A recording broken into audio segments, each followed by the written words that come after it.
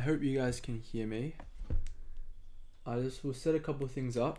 But yeah, welcome, welcome. Thanks for joining me on this Saturday night.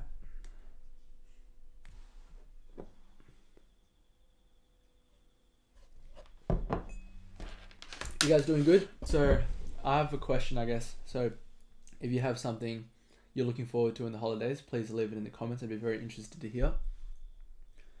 And yeah, thanks for being on, I guess, before the starting time.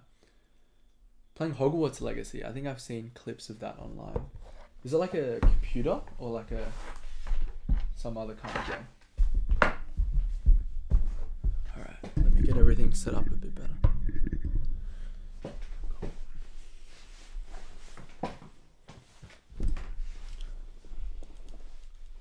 Gold Coast. It's very exciting.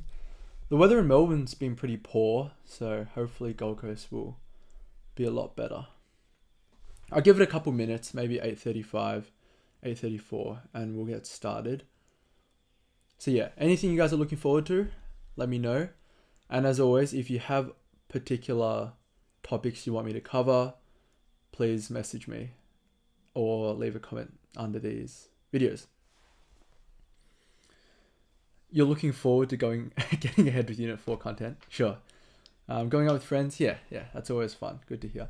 I think you need a bit of work with whatever else you're doing, just just for balance. Grinding for next term, yeah, that's what we'll be talking about today. Yeah, good to hear. You guys have some goals. All right, give it a couple more minutes. Two minutes.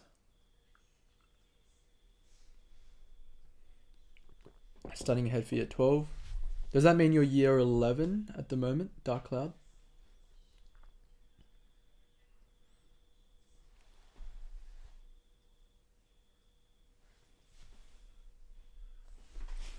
Move my chair up.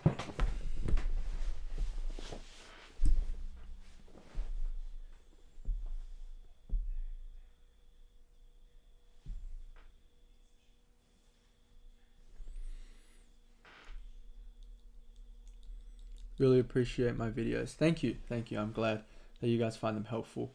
Um, I have released a lot up until this point, which should cover a lot of the main topics, especially for English Eng Lang. But please have a look at the channel as well. I also have a TikTok as well. I don't. That was more to just answer people's questions. So I think if you have something oddly specific or you have a bit of time on your hands, you can just have a look at my TikTok and see if anyone had the same questions as you guys. What do I think about? Okay, so this is from. Wait, I feel like my posture is really bad. Let me. Okay, can you talk about do a video on lab reports? I want to ace my biology and chemistry report and post this. Yeah, so like the EPI, I can I can talk about that a bit. Um, I'll probably do a live on it just because it's. I guess it just works better live videos at the moment. Um, so I'll definitely talk about it. But just with some advice, I guess. How did we work for our school? It's not worth a lot of marks. I remember the rubric was really, really helpful. The rubric for the EPI was highly in depth and literally had like 0.5 marks, 2 marks for referencing. You got to keep under the word count, otherwise, you lose marks. So I think if you make sure you've covered everything under there, that's really important. And also making sure you know what things like reliability, validity are. So check with the teacher, define them well in your in your actual piece and apply them well. Um, but the rubric will be highly helpful for you. And what do I think about relationships? I think they're fine. Like, like it's not really something you can control. If you meet someone, you like them, or you're already in a relationship, then you wouldn't stop it for VCE. But I also don't think VCE is a time where you'd be like actively looking for relationships because it's a bit of a weird thing to do in or just in general, but also in VCE. Um, what's placement like? Placement's kind of like school again. I need to be there at 7 a.m. at the moment, and I get home maybe 4 p.m., 5 p.m.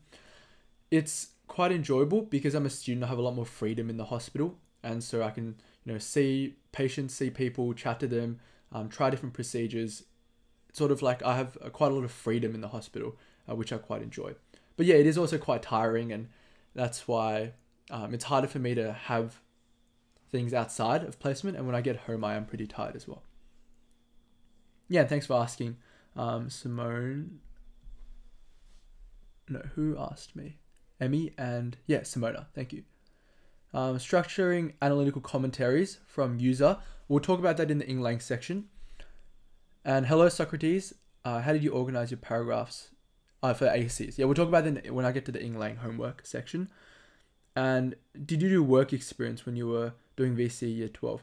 So work experience is usually like a short term thing. I didn't do it in year 12. I had a bit of work experience in year 10 in a hospital. Um, but you can try work experience. I don't think it would detract from anything. Honestly, with VCE, I think unless you have this massive time commitment outside of VCE, you shouldn't be too pressed for time. Um, manage an art subject, how to increase writing speed for argument analysis. I'll talk about that in the English section. You guys have a lot of questions, which is good. What are some tips you would give to someone who's trying to get study habit systems? Okay, so I'll talk about all these questions when we get to the sections. Should I get a piece of paper? I'll write some stuff down so I just don't forget. Let me grab a pen. Give me a sec.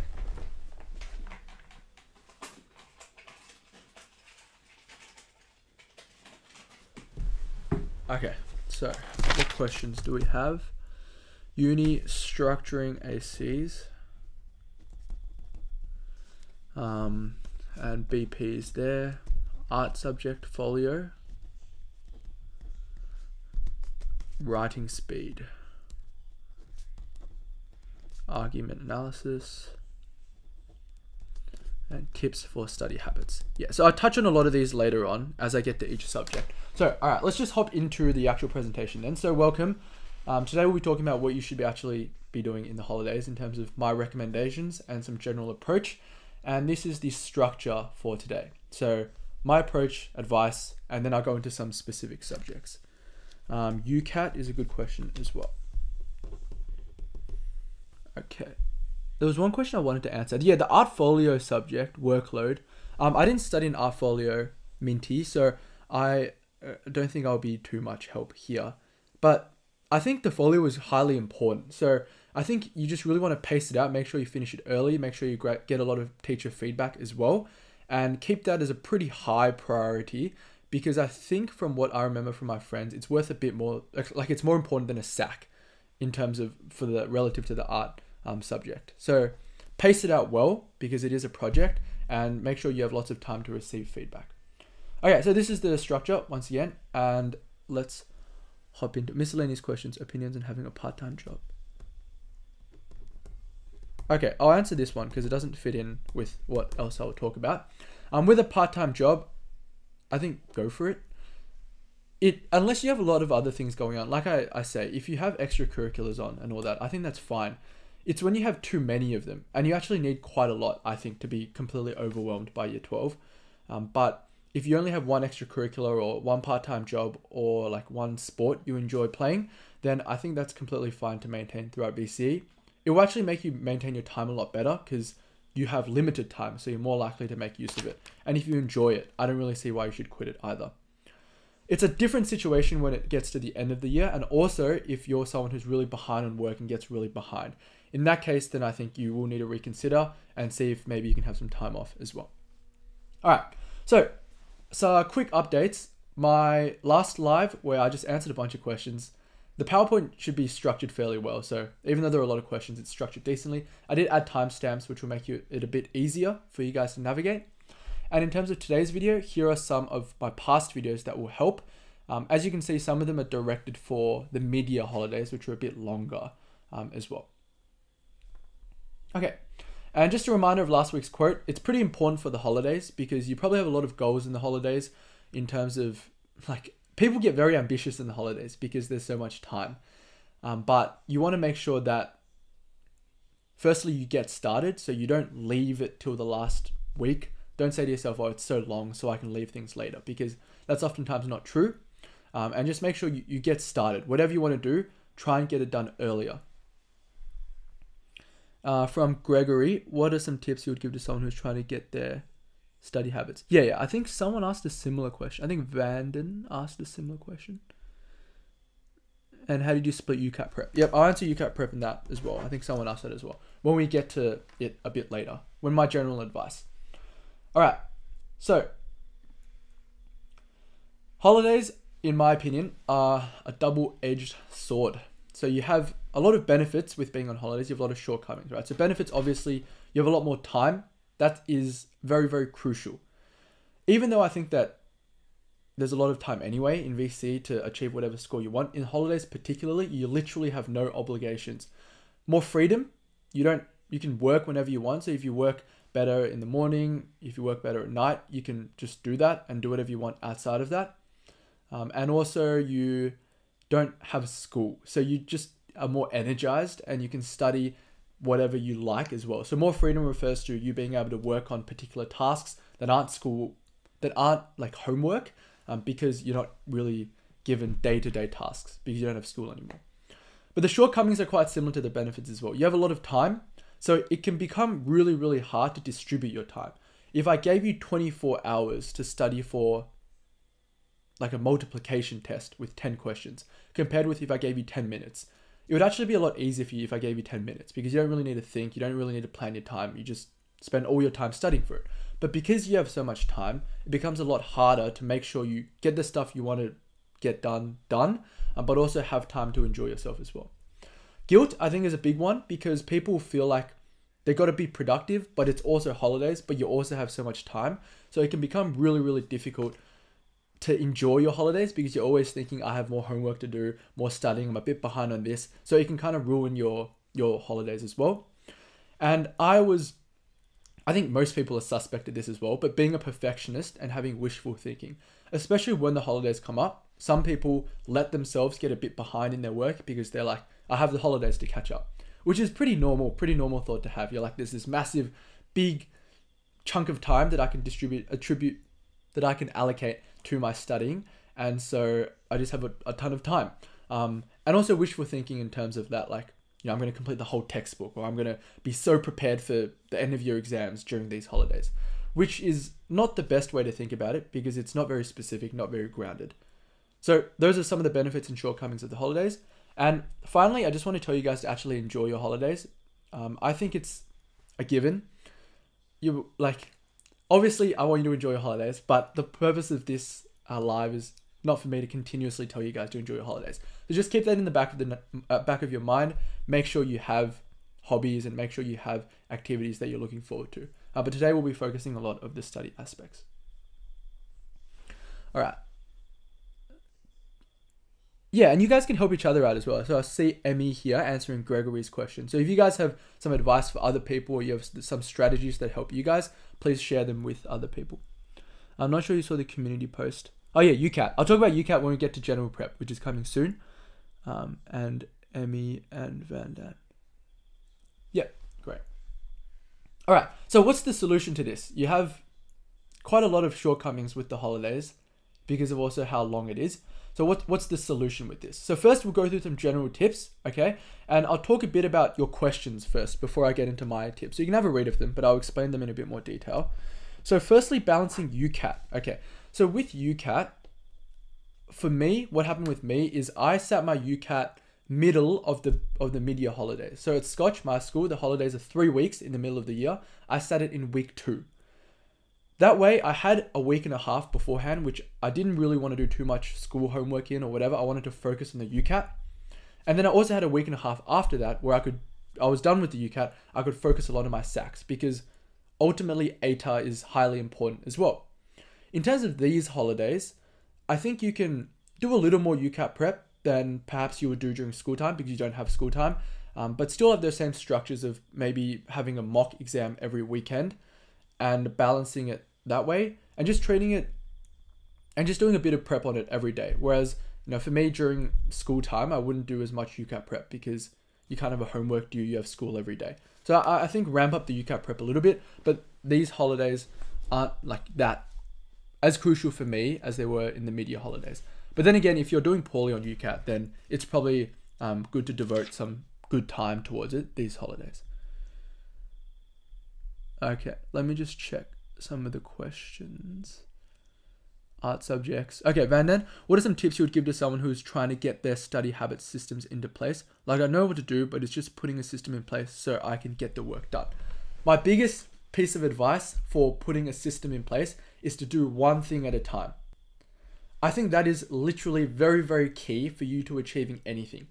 If your work habits are not that good at the moment, or you're just not very happy with how you, you're doing things, and then tomorrow you're like, all right, I'm going to wake up at 7 a.m., I'm going to study for four hours, take a one hour break, have breakfast, study for four hours again. That's just not going to work. It's might work for one day, but you're not going to be very efficient. You're going to be tired, and it's just not the best way to do things in the long term.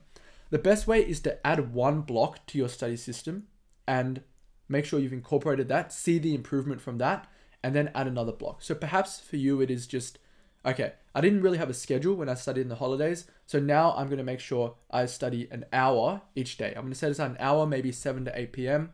or no, or maybe in the morning, 10 to 11 a.m. And that time is going to be my study time.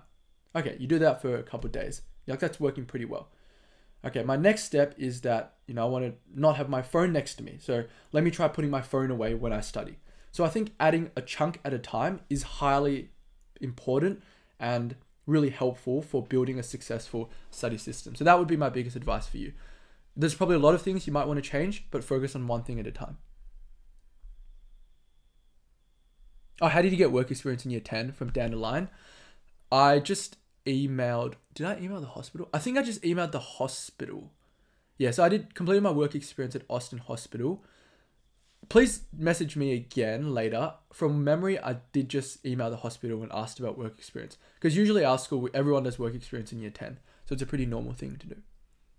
Did you have a job in high school? No. Um, UCAT, what you should be doing, um, like I sort of answered earlier, do a practice exam each weekend, and in the holidays, ramp up a bit of uh, prep in terms of some subtests you're bad at and some practice questions. I answered the Yep, study habits. I answered that one. Part time job. How did you split UCAT prep? Yeah, so UCAT prep, the mock exams are most important. The other tests kind of just just do them as needed. So if you feel like you're bad in a section or you want some time to practice, then go for it. Uh, and I think you guys, Emmy and Vanden, were discussing about procrastinating on your phone. Hmm. So there are two ways I think to navigate this. One, obviously, just don't have your phone next to you. But even I have my phone next to me when I study. I think one advice would also be to not go on your phone when you are halfway through quite a difficult task. Okay, someone asked me a similar question, and I thought I thought about it, and this was my answer. If you're working on something like a maths question and you haven't solved it yet, don't go take a break on your phone because it's going to be really hard for you to get back into it in the first place you weren't able to solve it. So now you have this sort of barrier of going back. It's going to be hard going back. So if you go on your phone, you, you scroll and you enjoy yourself, it's going to be harder going back and studying again. So I think really try and complete whatever task you are on in that moment before taking that break and going on your phone. I think yeah, calendars are, quite useful. Um, you can make to-do lists however you want. You can type them or write them out or in a diary however you want. All right, let's continue. So with my general tips, these are the ones I have. So first, I like doing a bit of work each day. That's for me personally. I don't like kind of having zero days where I don't do anything because I just feel kind of bad. I feel like I just kind of wasted the day away. Secondly, in terms of work, you kind of have, you know, basing it on time. So I'm going to work for an hour or I'm going to base it on tasks. Like I'm going to complete however many questions today. So for tasks, I like to do it by simple tasks. So if I have things that are quite easy to do, for example, like email this teacher or just write this chapter summary, I think of that as my goal. So I'm going to write this chapter summary and then I'm going to go chill and do whatever I want. But for longer activities, like perhaps a practice essay or maybe a, um, you have a lot of, lot of questions for maths. In that case, I sort of just allocate time. So I'm like, okay, I spent an hour today on the essay, and then as I write it, maybe I, I just finish the plan and I'm like, all right, it's time to move on. It's time to, I, I can do this another day. Um, but for longer tasks, I try not to arrange it by task because I feel like that makes me feel rushed to finish it.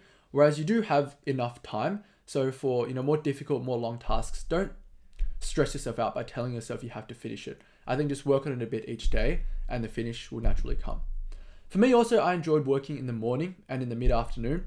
I don't really like working at night when you're in the holidays because you just kind of want to enjoy whatever you're doing, go on YouTube, whatever.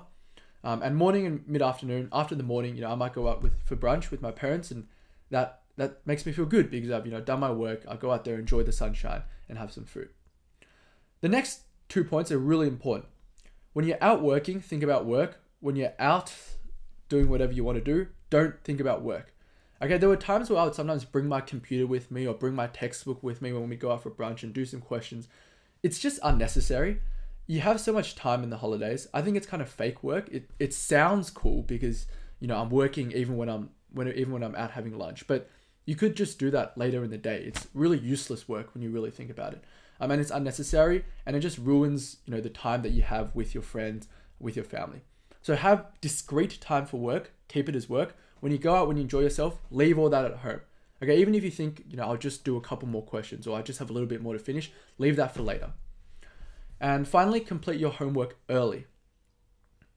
I think homework, especially, is really good to complete early. Firstly, you don't have to worry about it when there's a couple days till school starts. You're really prepped for any sort of emergencies that may happen. And also by completing your homework early, you have a lot more freedom with your own studying. You feel good. You feel like, all right, I'm pretty primed for the term to start. What else do I want to get done? I feel like homework is just something you want to get done and then move on with whatever. Uh, okay, I'll answer a couple more questions. Vandan, did I use GoodNotes? I used Notability in year 11 and 12, just a little bit. Mainly, I just, I didn't really take notes even in school. I just use like Word document um, and Notability a little bit. Task list calendar. Yep, thanks for sharing, Samuel. Um, Apple Notes usually works called Endless Paper. Oh, that's pretty cool. Yeah. No worries, Tom. Uh, no worries for the live stream. Hello, Z. No worries, Dandelion. Any advice for current year 10? I'm doing methods 1, 2, and Chinese 1, 2 at the moment. So I think year 10, you just want to. Hmm, you just want to be patient and you want to just work work hard and be patient. Don't think too much about what's coming in the future. I think just have good habits. So study well, make sure you're prepped well because whatever preparation you're doing now for your tests is going to be a similar structure as when you're preparing for SACs in year 11. So you really want to refine that structure. So get your work done, you know, a couple days before the a week maybe before the um, before the test that's coming up. Complete all the practice exams, um, maybe so that they're all done by a day before the test. But just having those little structures in place and executing them uh, will help a lot. And yeah, that that'll be my main advice there. Um, I think for Chinese particularly, you can build up your sort of vocab a bit um, and your oral skills a bit. It's Chinese takes a bit longer to improve in my opinion, so it's it's good to improve those idioms and all that now. And with methods, one two is quite similar to three four, so make sure you pay attention, make sure you um, you try and do well in that subject. Bound reference, I'll talk about that. Good question. So we did study habits, we did UCAT, bound reference. We did the art subject folio, writing speed for argument analysis, we'll get to that. Bound reference, I'll talk about in the math section. What is the difference in mindset? I'll talk about that a little later as well. Uh, and from Simona, I tend to smash out all of the work from one subject in a few days. Would you recommend doing a bit from each subject each day? Okay, I'll go to the next slide so you guys can have a read. Don't get bored. I just had a couple more points I'll talk about here. Um, but for Simona's question, would I recommend doing a bit from each subject? I think do what works for you. It seems like for you, you really get into a flow with a, one particular subject for a few days. Like keep that. There's nothing nothing wrong with that at all. Um, for me, I think it just varies a bit. I like doing a significant chunk of one subject, I think, but then also doing a little bit from another subject just for a bit of variety. I didn't really think about that too much. Um, whatever works for you, whatever makes you feel good, go for it. Um, and with medicine, is med school worth it? If you want to become a doctor, you gotta have to go through med school. I think it is worth it. Um, I do know there are a lot of people out there who kind of talk badly about med school and all that, um, talking about how it's easy to get burnt out and all that. But I think it is going to be a bit stressful because the career as a doctor is pretty tough career, so they need to prep you for it.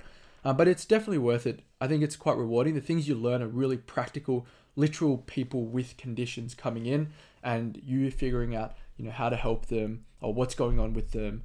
I think that's a really cool part of med school. And it gets a bit better in the clinical years because you actually see patients and all that as well. And with specialty, I'll just talk this about. I haven't really thought about what specialty yet. Um, yeah, so I'm a bit undecided at the moment. I'm pretty open to just trying things in the hospital and seeing what clicks. Um, do you remember content? I'll come back to that question. All right, so my final two points with general tips don't feel stressed. Like I said, VCE is long, your holidays are long. As long as you have a decent plan, you do a bit of work each day, there's no reason really to be stressed. People are stressed because they don't have a plan, because they don't put in work every day. So if you do that, you won't really be stressed. So when you work tomorrow, don't think about your SAC in term two. Don't think about your end of your exam. Just think about the work you're completing, do that well, and then do that day in and day out. And in terms of a bit of motivation, if you're in year 12 and you have things you're not happy about, or you have habits you want to change, if you don't change it now, there's no like when else are you going to change it? So I highly recommend that if you have things you want to do now, if you have things you don't want to regret later on, then get it done now. There's no better time than now, especially in the holidays where you have a lot more freedom. Cool. And my second, this is the main solution part. So these were some general tips, but my main solution is to really set clear goals. So really think about what you want to achieve in these holidays. Okay. So you want to complete all your homework. And I don't mean clear goals like I want to get good at maths. I want to, you know, make sure I ace the next SAC. That's not a real goal. Your goal needs to be something you can do. So I want to complete you know, another chapter of the maths textbook that they'll be covering next term. Or I want to um, learn, um, you know, 15 more vocab words related to my text. Or perhaps it is, um, I would like to, what else would there be? Yeah, I would like to, you know, make sure my bound reference so far, I've collated all my difficult questions and I have it set up pretty well. So if you want to have something really, really specific, something that you can literally work on today, tomorrow, the day after. Right? Don't don't give don't make your goal something like I want to be very prepared for my SACs next next term because that doesn't really mean anything. Okay, and with exactly how you set out your goal, it depends um, if you like ultra specific ones. So I like kind of general goals. So like same as what I said before, I would complete two chapters, three chapters, whatever. But by ultra specific plans, some people really like planning out each day. And I wouldn't necessarily do that. Um, but for some people, it works and go for it. And if you're curious, this is what Michael Phelps wrote, I think when he was 12 or something. But swimming is sort of a sport where you need to be very specific about your times. So you write, you know, what time does he want in the 100 butterfly, 100 breaststroke, 500 freestyle. Um, and you see by concentrating, working hard, and coming to every practice. So coming to every practice is something specific, something you can do today, tomorrow, the day after. Cool. Hopefully that helps out. All right, let's have a look at more questions. How do you remember content throughout the entire year for exams? Bound reference, structuring ACs. We're not at that yet. And argument analysis. Um, remember content. I covered this in my last live, so please go check that out. But a lot of it is trusting yourself. I think if you do the homework, if you pay attention to your teacher, you will naturally remember a lot of the content. But you want to trust yourself. You don't want to think too much about, oh, I might forget this. Because if you put in the work each day, you will naturally remember it. I think if you focus too much on memorizing, like slamming flashcards into your face, that's not really a good way to learn and it's quite unnecessary as well. But I think if you have things that are really, really specific, go ahead, use flashcards. But in general, if you're you're doing the practice tests, if you're completing, you know, your homework, um, if you're starting exam papers, then you kind of revise the content that way. And if you're doing well on those, then you know you've remembered the content well. You only need to pass, Samuel. Yep, that's is how it is at Monash. So you just need to pass to move on. Um, Syra, is that how you pronounce your name? Special SAC next term. Prepare plus bound reference. Yep. I'll talk about that in the math section, which is coming up after English and Eng Lang. Psychiatry in the future? Yes, that's good. It's good that, that you have a goal like that. And goals are what keep you going, right? No one no one gets excited because you want to get like you want to get 85% on your next SAC. You get excited because you want to study psychiatry. That's good. Um, who are my role models? My role models are probably my parents, I think. Not I think, but yeah, my parents. I think for different different areas I have different role models. So for I guess work ethic and just being good people, I think my parents. Um, I think more specifically for work ethic, you have you know sports people like Michael Jordan, Michael Phelps, Kobe.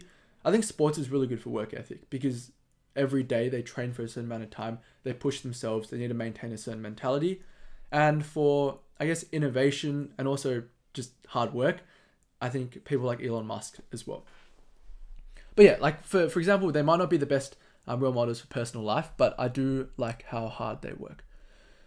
So I want to do psychiatry. Yes, uh, that's good motivation. I didn't actually get my homework.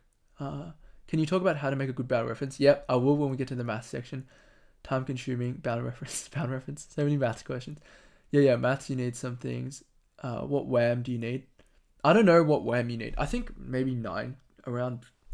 Yeah, I'm not the best person to answer this. Maybe ask someone in biomed or message me later. I can check with some of my biomed friends for you. Or if someone knows in the chat, please help us out as well. Uh, that was Joe Rod's question about transferring into med from biomed. What WAM is required? All right. So let's talk about English and English language. So a lot of things will look familiar to you. If you've seen my videos before, if you've followed along with my channel, things will seem familiar, which I think is a good thing because I have the same advice I had two years ago as I do now because it works and I truly believe in it and it worked for me. Okay. In English, you'll often receive a practice essay in your holidays. Practice essays are top tier tasks. A lot of homework tasks, maybe you think you, you blow them off, you're like, whatever, I'll spend a little bit of time on them, maybe the day before school starts. Practice essays, you want to make sure you're really putting in the effort into them. Because what you put out on that page, what you analyze, what contentions you develop are literally the same ones you will be spouting in your SACs and your new and in your and in your exams.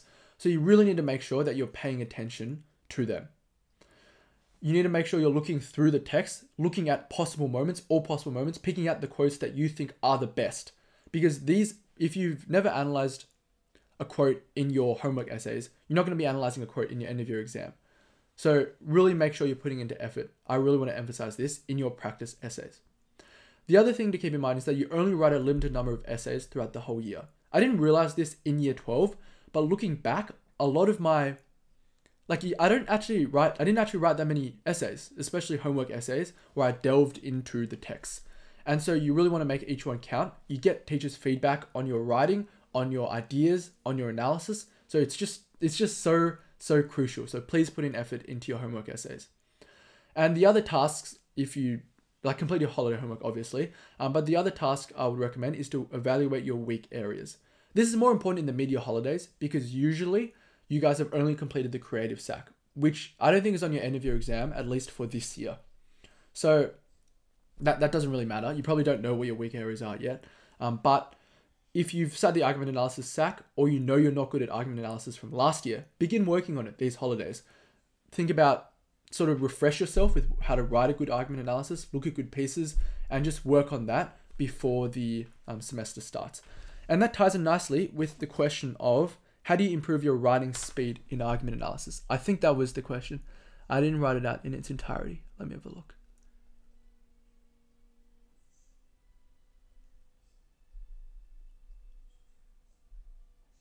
Okay, I think that was the question. Anyway, uh, so I could write pretty quickly. Just I don't know why. Just from a, a young age, I guess. So it wasn't that much of an issue for me. But I think practice is really important. So first, you want to keep your handwriting legible, and then each time you write, you want to make sure it stays legible. So even when you're under pressure, even when you're um, you're, you're tired, it's like period. It's the last period of the day, and you're just taking notes. You want to make sure it, looks neat, because these are the habits you'll be putting in when it's you know 2 hours 30 into your English exam when you're feeling tired, when you're feeling stressed. And the other one is to practice under time conditions. So practice writing paragraphs under time conditions, try and make them longer, writing intros, writing essays. So a lot of time practice will help you. If you're not naturally a fast writer, then you do need to just put in a lot of time practice and make sure you're handwriting a lot. I think with notes and stuff, if you normally type them, don't don't handwrite them because there's no need but you do want to make sure you're practicing a lot of pressured writing. That's legible as well.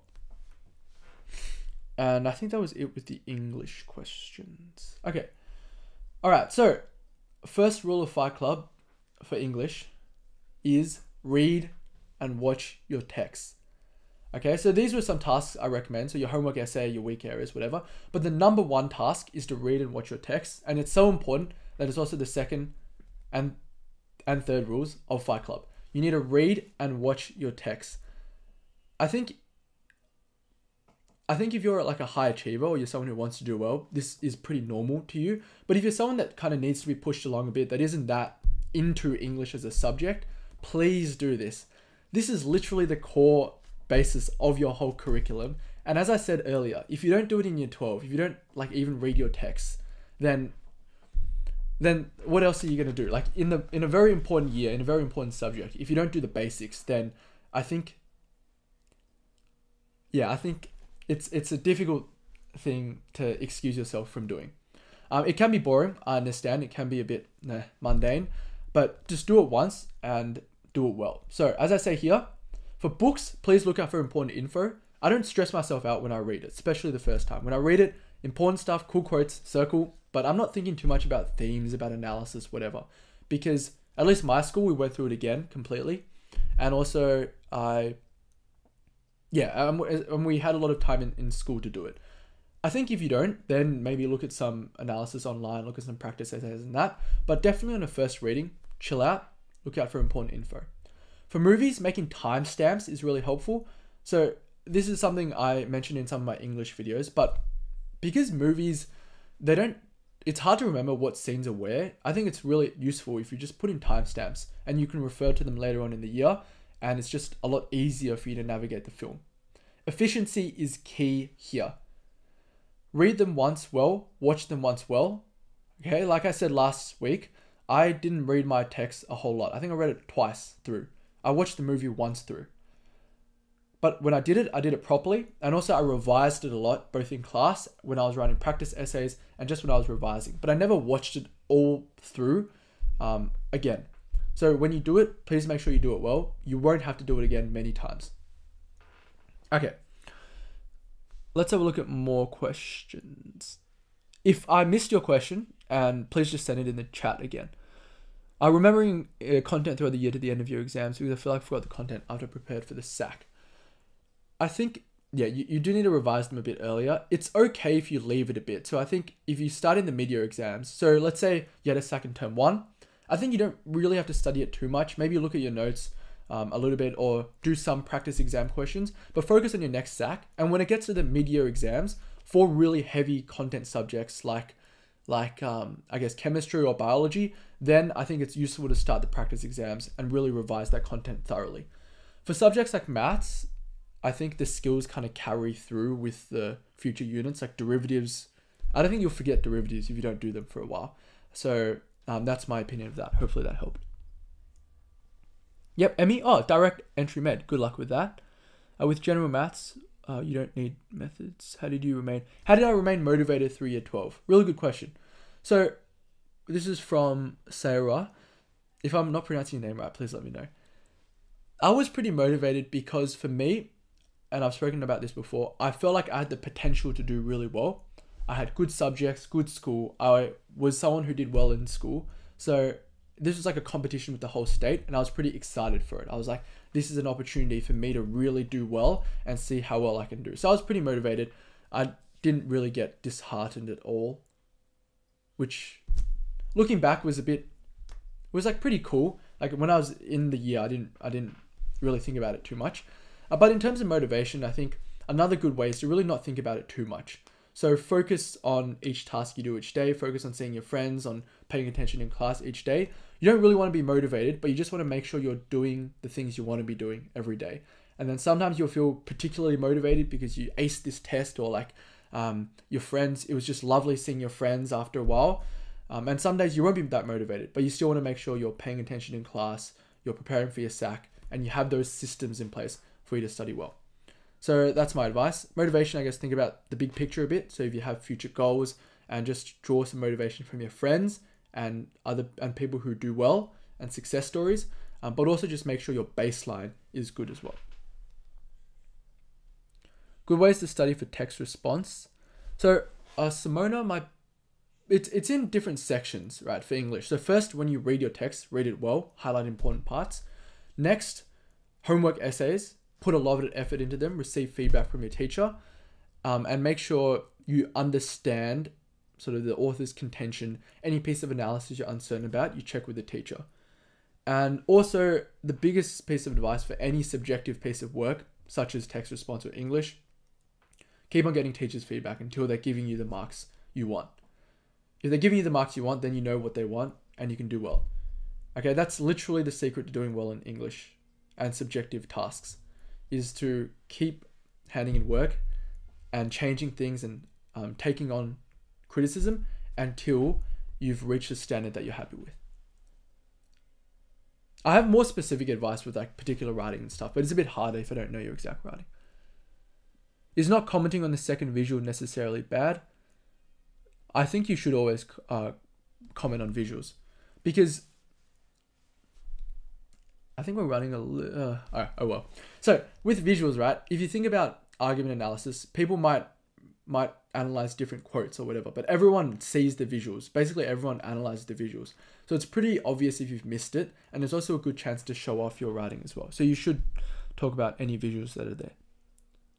Um, textual spot sacks. When writing, practice ACs or essays. Yep.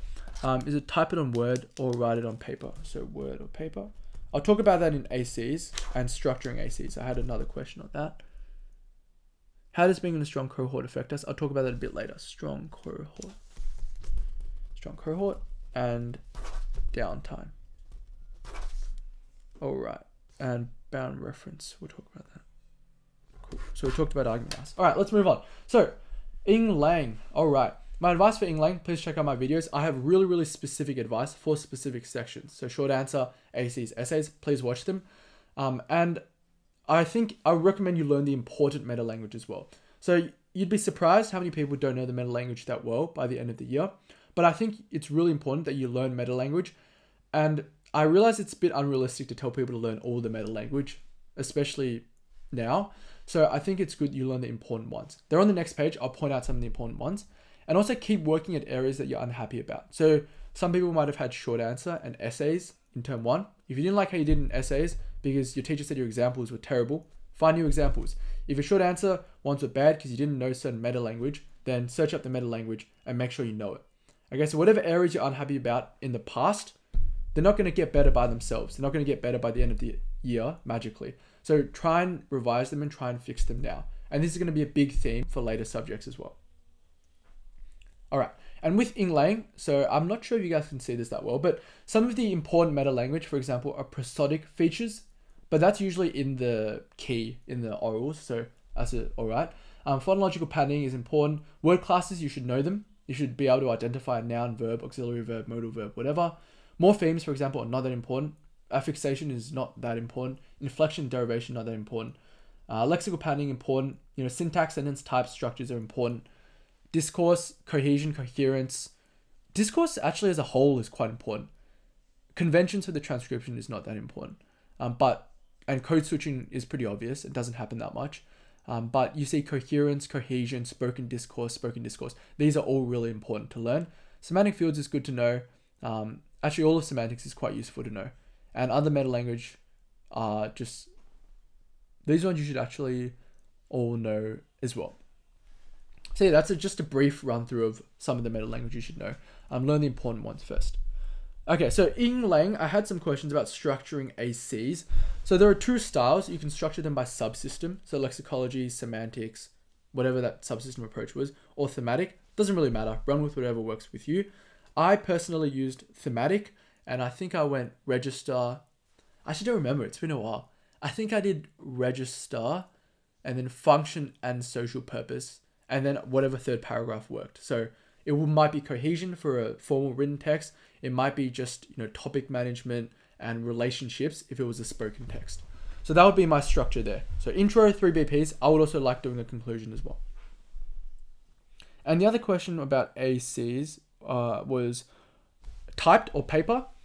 It depends the purpose. So if you want to, if you want to like spend a lot of time on a piece and it's just for your knowledge and for you to make sure your analysis is sharp, then type it because I think that's easiest to edit, easiest to spend time on and write a bit, come back to it later. But if it's timed practice, obviously just handwrite it. I that that was basically my approach with it. Yeah, GG if you don't read your text. Like I think you should read your text. If you're enough if you're I guess attentive enough to come watch a live stream on on how to prep in the holidays. Hopefully, you'd also have enough motivation to read your text. Already finished the textual on SAC. Should I put all my efforts into the upcoming SAC or should I be reviewing section A? So depends, Matthew. How did you go in section A? Let's go back to English. So this question from Matthew. I've already finished the text response SAC. Should I put all my efforts into my upcoming SACs or should I be reviewing section A? So review it if you didn't think you did that well and you want to improve and maybe write one other piece to give back to your teacher. But you should be mainly focusing on your future SACs because they're equally important and they're the ones that are going to be assessed a bit earlier. I think just kind of keep in the back of your mind what went wrong if you didn't do that well, but really focus on your future SACs. Would it be beneficial to reread your text? So, generally, no, because when you think about it, if you've read it already and you're using it for your essays and stuff, you kind of know the important moments. So, what's the point of rereading the text as a whole? I think you can do it sporadically if you just want to make sure you haven't missed any any points. Um, but just in general, like just reading it from front to back, if you think about it, you're not really gaining too much out of it. You're sort of just looking for some small pieces of analysis you might be able to incorporate, but not that useful as a whole. Um, is 28 out of 30 for the first act good for 45 plus? I coincidentally got 28 out of 30 and I scored a 50. So it is good. Uh, depends on your school though, like how they set it out. But 28 out of 30 is a solid score for any study score you want. But, you know, it could mean you get a 35. It could also mean you get a 50. It just depends on what you do from here. Strong cohort. Okay, let's go back to Eng Lang just because I feel like it. So these are some of my Eng Lang videos. If you would like to check them out, this video was a massive one to make, the hour one. People sent in their ACs and I and I corrected them. That was quite a quite an experience. Okay, so the question from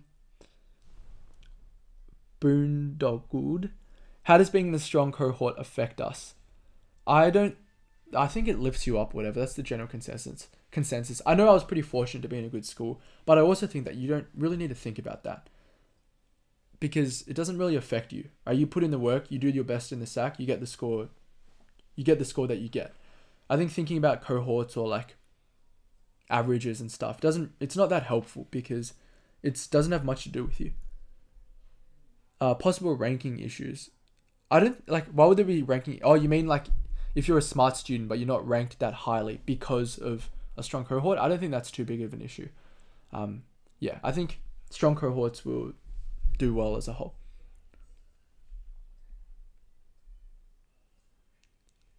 Hi Darren, in normal days at school, do you have downtime every day? Yeah, I have downtime every day. There's never a day where I studied, like I didn't do anything except study. I don't think that ever happened, and I don't think you should do that. Like, you know, you enjoy your meal, you go on your phone, you watch some YouTube. I think that's perfectly normal. Uh, smash the practice essay then. Oh, so Emmy, what happened? I might have missed some of your comments. So you didn't do as well in your first SAC as you wanted to. Um, Socrates, where would you find contemporary media examples? Okay, let's go back to Eng Actually, yeah, I forgot to mention. I mentioned this in my last live, but yes, you can definitely start looking for essays, essay examples Yep, meta language examples. I don't know what to collect from where. All right, this is very, very important. If you're studying Eng Lang, please pay attention. Here is where you look for your examples. If you are looking for easy ones like jargon, like slang, like what else? Like teen speak, I think you can just reflect on your own life. Okay? Think about terms you use. Think about terms, you know, doctors may use or engineers may use and you can either just use those just generally, or you can just search them up in the internet and then go to news. So search up like, I don't know what slang people are using these days, but you can just search that up and then go to news, and there's probably quotes of people using them, and that would give you a dated example. So an example with a date, an article, whatever. You can do that. Okay. For slightly harder ones, for example, like double speak or like euphemisms, think about an event where people might use them. This makes it a little harder. So for euphemisms, right, usually they use it after one classic euphemism is after people have died. People use a lot of euphemisms. So I think I think a cricketer died, right? Like last year, I think. So I searched up whoever it was, death, and then I went to like tweets, and then I went to the news, and then I had a look at the language people used for that person. So think about areas where you might see that meta language and then search that up. It's a, it's a little bit of thinking. And for example, in Aussie English, I searched up comedians, so Aussie comedians, and had a look on YouTube as well. So think about where they might occur.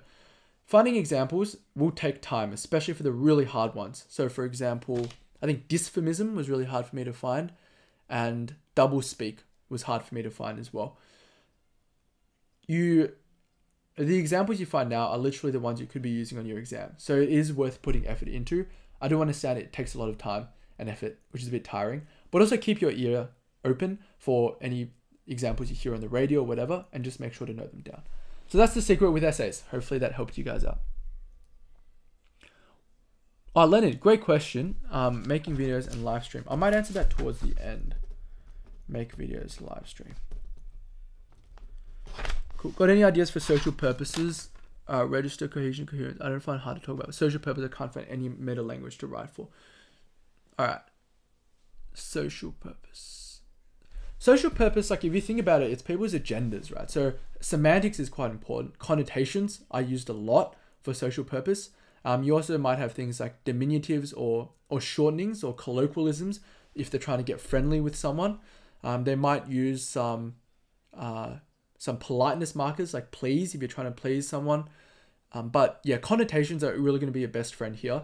Almost every piece has connotations, particularly because they're trying to paint things in a certain way. They're trying to paint it in a negative light, in a positive light.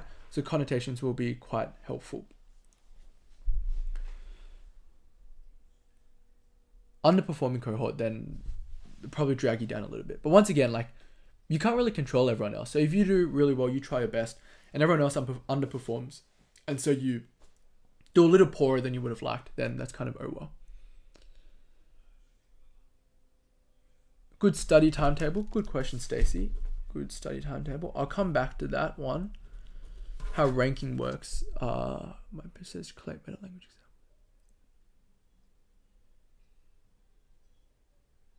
Okay. Shane, uh, yeah, Shane Warne was the person. With ranking, how ranking works, I'm not too sure, honestly. There's a good video on it, I think, on YouTube. I'll share it. I think I share it in the community post of my YouTube, if I can find it. Yeah, I don't remember exactly. I think it's something to do with your exam. Whatever your ranking is, you get the score of that. So if your ranking is rank 2, you get the second highest exam mark in addition to your SAC mark even if you didn't get the second highest exam mark. I hope that kind of makes sense. Um, yeah, I'll try and find a better explanation. All right, I think we'll skip this question. Have a think about this. I asked you guys this last week. So think about whether you've actually changed anything with your routine and what you plan to change in these holidays. Okay, methods and special. So first, I'll answer some of your questions. Bound reference, how you should be doing it at the moment, I think just collate some of your, just collate all your difficult questions and make sure it looks neat and make sure it's succinct. So when you look at it, it's not all messy. It's not a bunch of working out. It's kind of clear what you learned from the question and um, what you what you got wrong in the question as well. You can also write down some CAS shortcuts as well if you find them, if you find some of them a bit difficult. Were there any other maths questions? I think I had another one in the comments.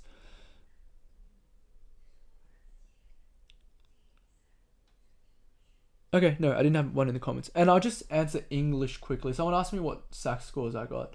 So for English, I scored a 28 out of 30 for creative. I scored a 29 out of 30 for my text response. And then I got I got full marks for all the other SACs. And with the exam, I scored 20 out of 20, 20 out of 20, and then 17 out of 20 for my section C. Which, yeah, the person marking it has some questions they need to answer, but just the way it is. All right, so with my advice for methods and special, complete your homework questions. So this and chem, which I'll mention later, are really important for you to complete your homework questions. More important than some other subjects. Um, the other advice is to complete more questions from areas that you lost marks in. So if you've had a SAC already and you really you, you just made dumb mistakes in derivatives or you mistook product rule for quotient rule or whatever, do more of those questions so that you're more confident with them. Like I said earlier, mistakes you have now, uh, misunderstandings you have now, won't fix themselves naturally by the end of your exam. You need to consciously make a change. Okay, and continue building upon your error book. We talked about that a bit with the bound reference. If you want to do well, um, I think work slightly and subtly ahead of the curriculum. So get a bit of a head start on what the next topic is, just so when it comes around, you're a bit more fluent with the basics of anti-diff. So you don't need to spend time getting quick at anti-diff because you're already good at it. And then it's just a matter of the problem solving aspect. I mean, some people I feel like will just ask me about practice exams. So I started practice exams for maths in sort of mid, um, end of mid, no, mid of July. So that's just a, a note for you guys. All right, let's have a look. Any other questions? Did you experience the critical period after 16? You find it hard to learn a language flat? No, no, I, I didn't. Um, yeah. I think kids learn languages really well, but as long as you're not like under five, I feel like you shouldn't think too much about you learning languages. Try and do your best for it. I found it fine to learn Latin as long as I put in the effort and had good strategies about it. Okay, Emmy, good question. Hardest part about year 12? What do you do in that awkward gap between exams and results? Okay, what did I? What was the hardest part about year 12? Let me switch my screen so it looks a bit cooler. All right, so what did I? What was the hardest part of year 12? Hmm. Probably I think probably when I did badly in an exam. So I didn't do that well in my maths exams in year 12. Recovering after that, I would say was pretty hard. Like I would be sleeping and I would be thinking about the maths exam. I'll be, you know, waking up and I'm not sure if I've woken up and I'd still be thinking about how I messed up that question. Particularly because they released the answers for the maths exams as well. So you kind of know what you did wrong. And I was just upset with myself. Like I knew I had still had a good chance to get a high ATAR or whatever, but it's still annoying when you get questions wrong. Um, I guess another hard part would be distributing your time well. But I had COVID in 2020, so we kind of were in lockdown. So it was a pretty straightforward answer to how you should distribute your time. And what did I do in the awkward gap, between exams and results? It's not that awkward as you might realize. You'll be a little nervous, but you're literally free. So you just do whatever you want. Um, go out with your friends, go out with your family, indulge in some of your pastimes, and start whatever projects you would like to start as well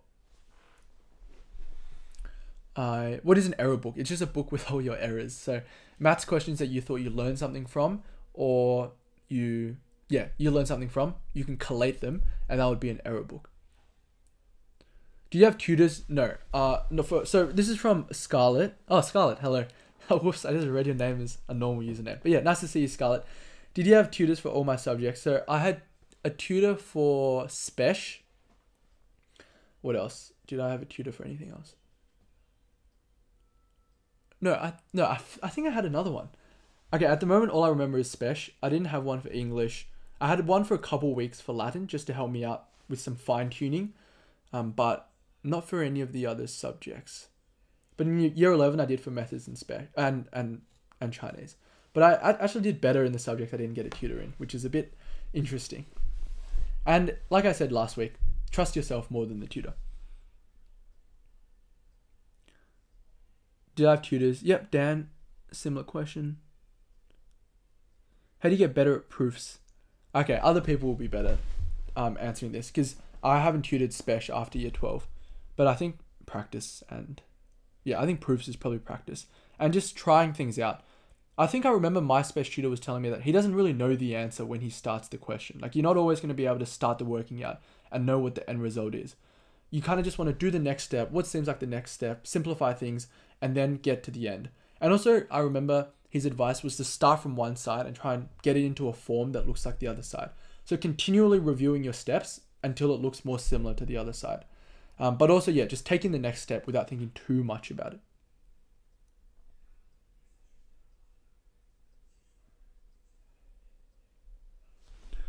Uh, better at proofs, error books. Do you note down trends and mistakes? Yes, yes. Trends are really, really good, Samuel um, redo logbook. I didn't redo any logbook questions. I think some people did that. It might be helpful, but yeah, for error books, it's really good to note down um, trends as well. So it's not just I got this wrong, but why did I get this wrong? And similar questions that I got wrong as well. All right, let's head back to the PowerPoint. Did I skip probability questions in the methods practice exams? Or were you ahead on probability? If you haven't studied it, skip it. I think in, yeah, in July, I, I did have to skip it until I covered it in a bit more depth. Did you say you are mentally and emotionally very strong? I will answer that a little later as well. So, mentally strong. I think I'm more mentally strong. Mm. I think it was different in year 12. Okay, we'll talk a bit about. We have a couple more subjects to go, and then I'll answer a lot more of your questions. All right. So chemistry. What should you be doing in chemistry? So chemistry, completing homework and qu- questions, very very important. Okay, as I mentioned at the bottom of this slide here, your topic tests and your textbook questions are really really useful in chem because they're not dumb questions that you just repeat a hundred times and it's like multiplication. They're thoughtful questions that are very similar to your exams. Checkpoints in particular is very good. If I went back and did chem again, I would start checkpoints earlier. I would complete all of checkpoints. I'll review the answers at the end of checkpoints. They are really, really helpful, really similar to the end of your exam. And the questions in chem, I think, are similar each year, but also they require you to think. So if you've done that similar line of thinking before, you've worked through similar questions, it will be easier for you. But you do, do need to do it. Um, as always, consolidate your weak points. So if you've had a SAC already, or if you know there are things you you don't you need to memorize but you haven't yet, like fuels or whatever, do that. Also work ahead, especially if you take longer to understand the material. So if you're someone that needs to do a lot more practice or needs to watch a lot of, lot of YouTube videos, do a lot of practice questions before you understand something, then start that process in the holidays. But yes, as I mentioned, your practice questions are really, really useful. Your topic tests for TSSM, textbook questions in the Heinemann textbook, checkpoints are very, very good. And I think the work you put in is very directly the work you get out as well for chemistry. Because I think if you put in time to memorize, if you put in time to learn the maths equations, to do practice questions, get them right, understand them, then when you get to the actual exam, it's rarely different to your to your um, normal exam, which is may not be the case for some other subjects. Just keep that in mind for chem. All right, any chem questions? Use the holidays to get ahead of school. So yeah, I just mainly for maths, I just worked ahead a bit, and I just read. I, I think for English, I didn't even work that much ahead. I just read the text. Um, but mainly for maths, I did um, complete more questions.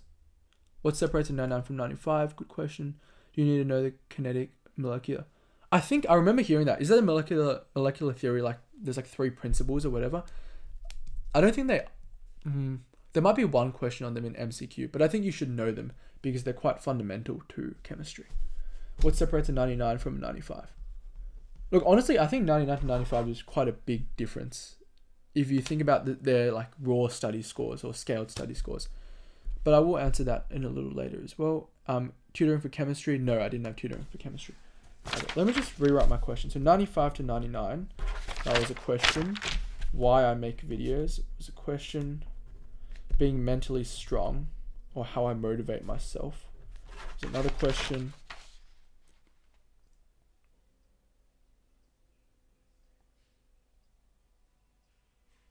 I answer strong cohort. Yeah. All right. We'll get to that at the end. I think some of those more general and more personal questions. Uh, Samuel, good chem question. Did I study differently for different topics in chemistry? Yeah. Yeah. I. I. That is the secret to a lot of things. You don't study one way. You don't use flashcards for every single thing you learn in chem uh, for yep content heavy topics and doing VCAA uh, questions. VCAA questions are just the best for anything, but I think if you try to remember some like formulas or I don't remember what else I had to memorize. I think fuels there was a lot a bit to memorize about what fuels are better or whatever. That you might need to use flashcards. You might need to just you know write out a table and just keep copying out that table without looking at it until you've got it in your head. Whereas for you know thermochemistry equations, I think just doing a wide variety of questions is useful, and also thinking about it. So thinking about flipping the equation, thinking about changing coefficients, multiplying by five, that's quite useful. So yeah, just being very flexible in your approach. Um, best practice exams for chemistry, I think they were all quite good actually. TSSM and NEAP were were the main ones our school used, and they were quite good. And there's another company, isn't there? What's the company that produces chem exams? Do you guys remember? I remember it's one that doesn't do it for other subjects. It had a really, it has like a black bar on it. Yeah, I don't remember the name. If you remember it, please pop it in the chat. Uh, where do you find the TSSM topic test? Our school gave it to us. Do you know, need to know about fuels as in the exact definitions? From memory, I think you do need to be able to compare fuels quite well and just know them. Uh, know them. Yeah, I, I forgot how much detail you need to know, uh, need to know them though. How do you rate Monash Uni? I am actually in hospital every day now, so I don't see the uni too much. But Monash Uni, I think, is a really nice campus.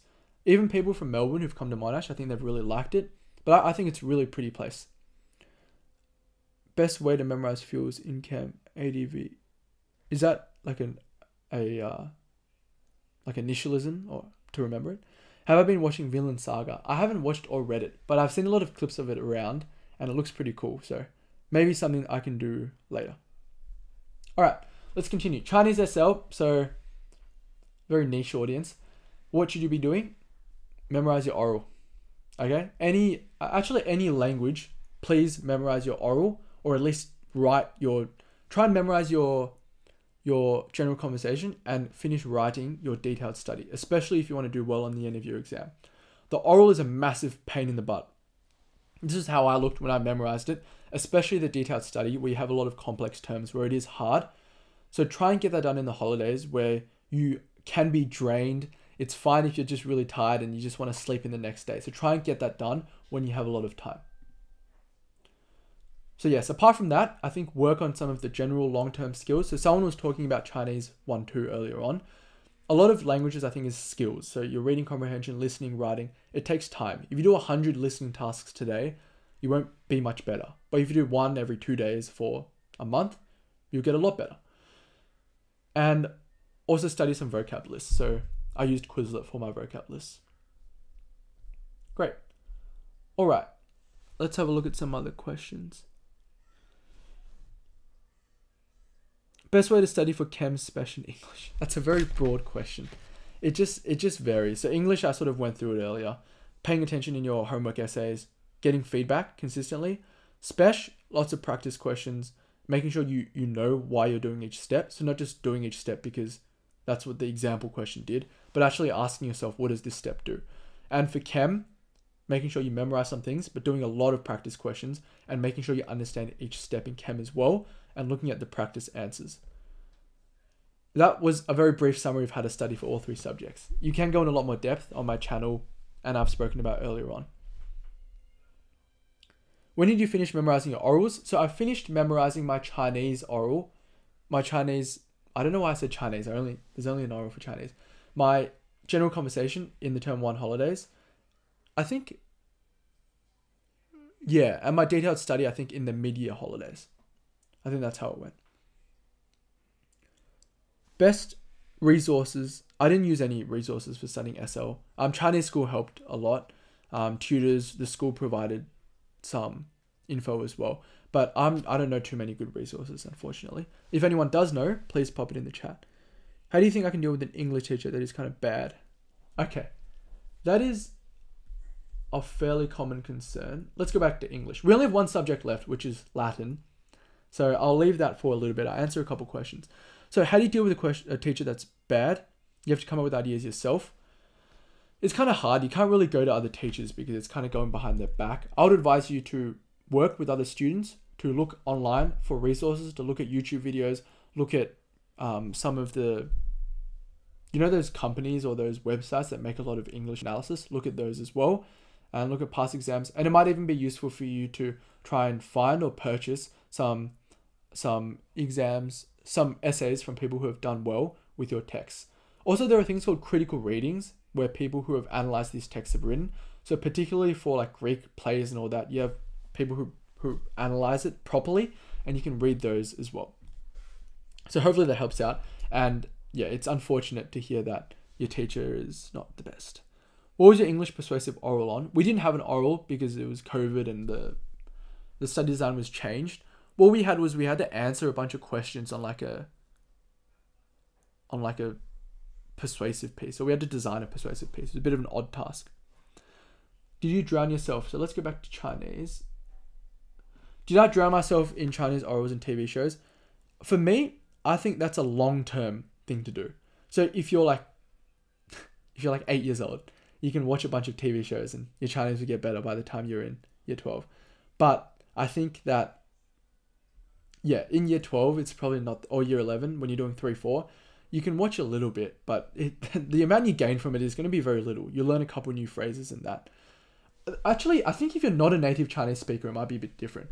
Yeah, if you're not a native Chinese speaker, maybe watch the TV shows because I think you'll get a feel for the accent. But for me, I speak Chinese at home, So if I'm watching the TV shows, it's like for me to learn a couple new phrases or whatever, which isn't that helpful. But for the accent, for the culture, and you're not um, person from a Chinese background, then actually the TV shows would be quite useful. Do you do the Asian Culture Fest? Where, did that question? At Monash last year. I think I did. Was it like an outdoor event with some food and things like that? I think I might have been there. What's a good way to learn orals? Okay, we're going back to English. And thanks for staying around, guys, as well.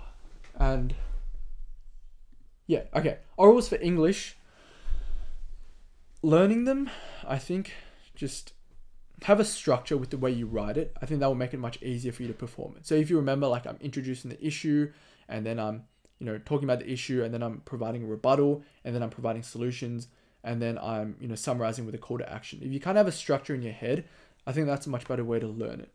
Also, um, yeah, you can clarify what you mean by learning it. Do you mean like memorizing it to perform, or do you mean actually writing it? Yeah, the text you're studying is brand new. It might not be any VCE resources, but usually texts do have analysis on them. What text is it? Please feel free to. Oh, Born a Crime. Oh, is that by Trevor Noah? Yeah, I'm pretty sure people would analyze it. That's a pretty famous novel. Um, four languages, uh, TED Talks. How long after studying English text do you start essays and timed essays? I just did it when my teacher told me to. So I think we went through it in class. Our teacher would set a body paragraph first often, and then set a set a um what do you call it an essay later. So I didn't really start it intentionally myself. It was when my teacher said it. But once again, Scotch is pretty organized. So if you feel like you have a decent grasp on the text, you kind of know you've read it through once, then I guess you can start writing a paragraph and see how you go.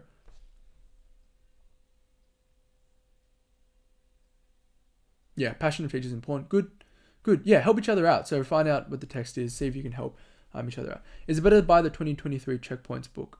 Uh, I don't think it matters. Yeah, probably. I mean, if you're not very hell bent on saving five dollars, I mean, there's not gonna be much of a price difference. I think. So I think just get the newest one. Uh, how's uni? Uni is good. I am currently in hospital placement, so it's pretty. So I'm a bit far removed from uni. Um, I'm going to the hospital each day, but I'm enjoying it. Yeah, it's very practical application of medicine, and you're with doctors. So I've said this to other people, to my parents mainly as well. It's like imagine you're playing basketball and you get to train with like an NBA team or Michael Jordan every day. You'd be pretty happy. You'd be pretty I'm excited to go in. And that's a little bit of how I feel right now because each time I go in, there are doctors who know so much, who are experts at what they do, who have so much you know, confidence and skill with what they do. And I see them each day. And that, that's also what I'm studying. I think that helps me study well as well. JL Tutoring, Julian, hello, welcome. Uh, Julian has a YouTube channel as well. I think he's in the US at the moment, and he does cover some good VC tips. So feel free to check that out. Uh, what about for LOTE? Oh, how to memorize your orals for LOTE. Yeah, that's just practice. Um, write it well and then just practice. There's, it's annoying, it's hard. Nothing beats good old practice. Someone asks the question, you answer it with no prompt, with no um, notes. So we'll go to languages actually. So this is from Simona, who's asking, how do I memorize my oral? This is from Simona. How do I memorize my oral? So you memorize it by by practicing it a lot and putting yourself in high stress situations as well.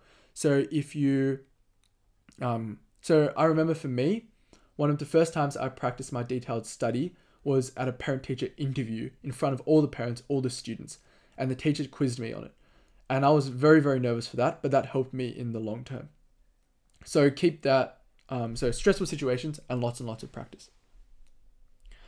How often should someone study for methods? Let's go to methods. So how off, often isn't the question, it's how good you get with it.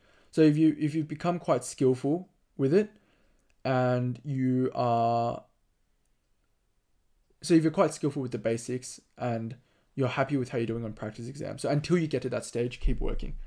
So I wouldn't say there's a certain time that you should spend on it. Uh, if you had to redo VC, what would you do differently? I think my mentality would be different. You know, I, I honestly think that I could have done with. I think there were a lot of things I didn't understand when I went through VC as well, but I still ended up doing well. I think because I was just like decent at the subjects I studied and I had good subjects. The main thing I would redo, thinking back, is I would have worked harder for my chem exam. So after my, I forgot what was my second last one, but whatever, whenever that was done, I should have maintained focus and just gotten the job done with chem as well before sort of letting my mind relax. That's probably one thing, one big thing I would change. Yeah, no worries. Good to see you guys watch JL, Julian as well. No worries at all from Dandelion. Um, Emmy, yeah, English oral. English oral, yeah, I guess practice performing it and putting yourself in stressful situations because I, I think a lot of people may not be as used to it. So I did public speaking a lot, but if you don't do public speaking, you don't do debating, then it's probably a bit easy to get nervous. So yeah, just make sure you practice it so you feel pretty confident. Um, which Premier Award would you want the most? Probably English. Just any Premier Award for I think English or Latin. I think if I if I received a Premier Award for those, I would have been pretty happy. All right, let's finish chem. Uh, let's finish Latin. How about that? Hello, Wimley. Let's finish Latin. We'll answer some questions. Okay, so Latin. Does anyone study Latin here, by the way? Please pop a, let's say, what should you write? Let's pop, pop a salve. Yeah, put pop a salve in the chat if you guys study Latin. I'd be curious to see if anyone does study it and is in the live right now. But yeah, stay tuned as well. I'll be answering questions at the end. So if you don't study Latin, I guess you can enjoy a bit of Latin teaching. So, Latin, what did I do in the holidays? Unseens, okay? Unseens are really important. That is maybe your next SAC as well, but unseens are something that take time to improve and they take time to work on as well. So, holidays are a good time for you to do a couple unseens a week instead of maybe one. Grammar and vocab. Oh, nice. Nice to see you guys. So, grammar and vocab, please check out my last live and my Latin videos. But I have two questions for you guys who the all four of you, big cohort, who are studying Latin. Firstly, what is more important? Do you think grammar is more important or vocab? And secondly, what are the three steps to solving an unseen? Please drop it in the chat. I'll wait a bit. And I hope you liked the meme. I thought it was pretty funny when I read it. I had a bit of a scoff. Yeah, went with philosophy. That's a fine choice. As long as you enjoy what you're studying. All right, those two questions. Come on, Latin guys. I don't really care if you get it wrong. What do you think is more important, grammar or vocab? And what are the three steps to solving an unseen?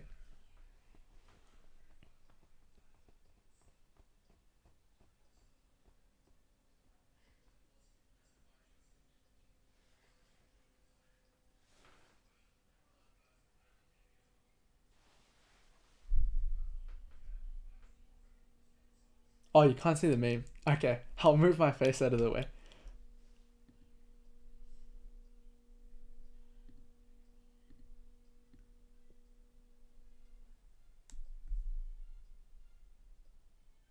Grammar. Yeah, good. Good, Thomas. Yeah, yeah. That's why I'm asking you guys again, because I want to see if you remember it. Lorem ipsum, isn't that the, the font thing in the PowerPoint? Okay, so, grammar, yes, grammar is more important. Vocab helps, but grammar is literally the fundamentals to solving unseens. And what are the three steps to solving an unseen? One, you try and do it left to right. Okay, you try and do it straight away. Two, you break it into some obvious phrases, try and solve each phrase and then piece together. Three, if it's insanely hard, you literally can't make head or toe of it. Rely on your grammatical knowledge, look at the endings, put things that could possibly go together together.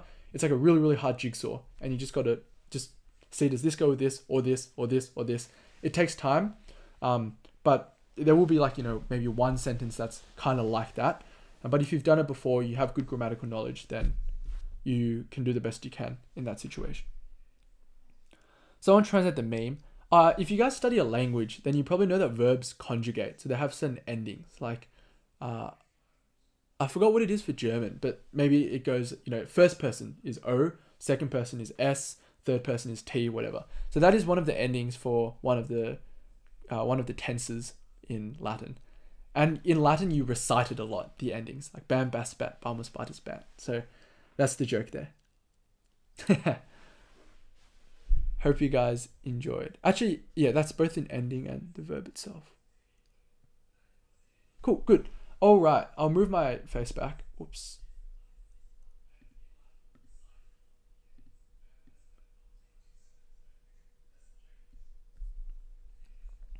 All right. So we've reached our second last slide. And these are the key themes from today. I'll answer some of your questions. Firstly, complete your homework early. Okay, you want to spend if you want to spend time on the things you want to do, then you complete your homework early. So then you have no real obligations. Everything you do is just a plus. I'll just charge my computer now. Next, consolidate your weaknesses and catch up on work. So if there are things you did badly on in your first term that you're not happy about, do it now. Because it's not going to get better by itself. And also, there's no better time than the holidays. And also, like, you're in year 12 or you're in VC. So it's, it's time to really step up.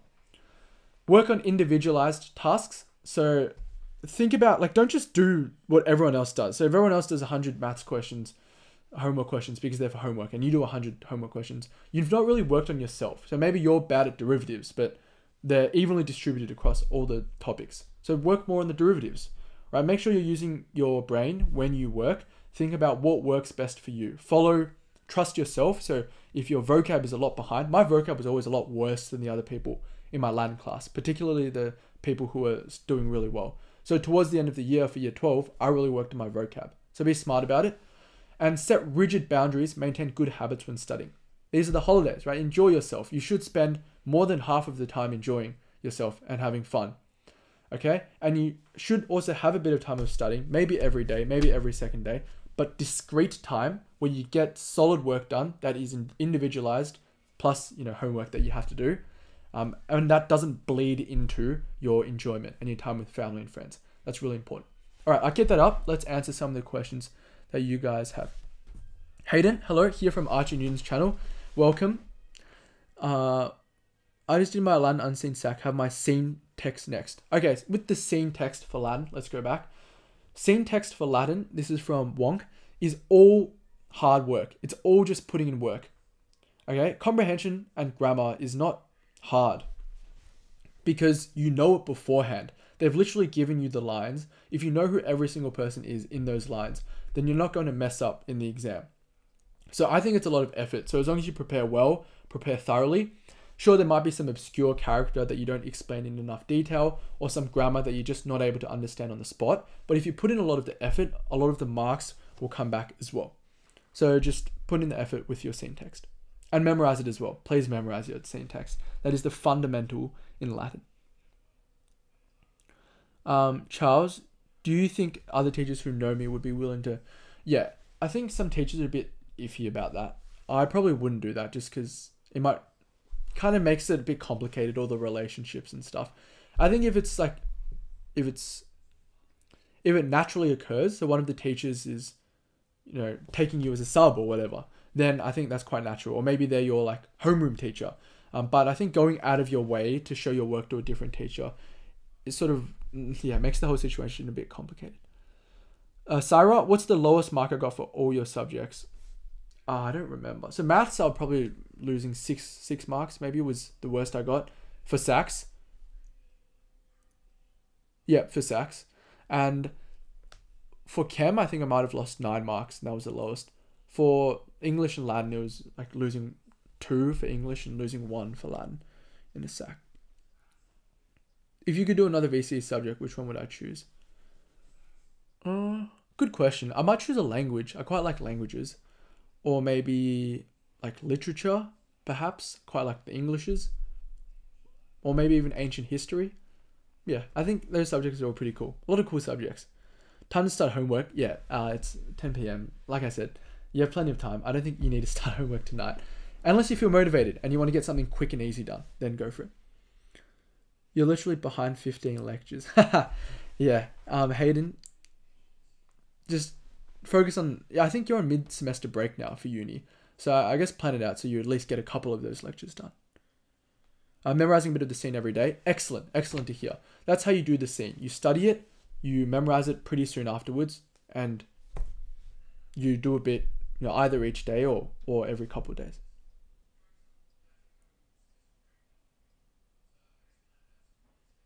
Would I choose physics? Not really. I don't think physics is my like it's just not a subject that appeals to me that much. I guess the math side and it's a very theoretical and I like writing more as well. Did I pick your subjects because of the scaling? Really good question. I did not pick my subjects because of the scaling. A lot of my subjects came naturally, right? So English came very naturally. Methods and Spesh came naturally just because if you're good at maths at Scotch, usually you study methods and Spesh.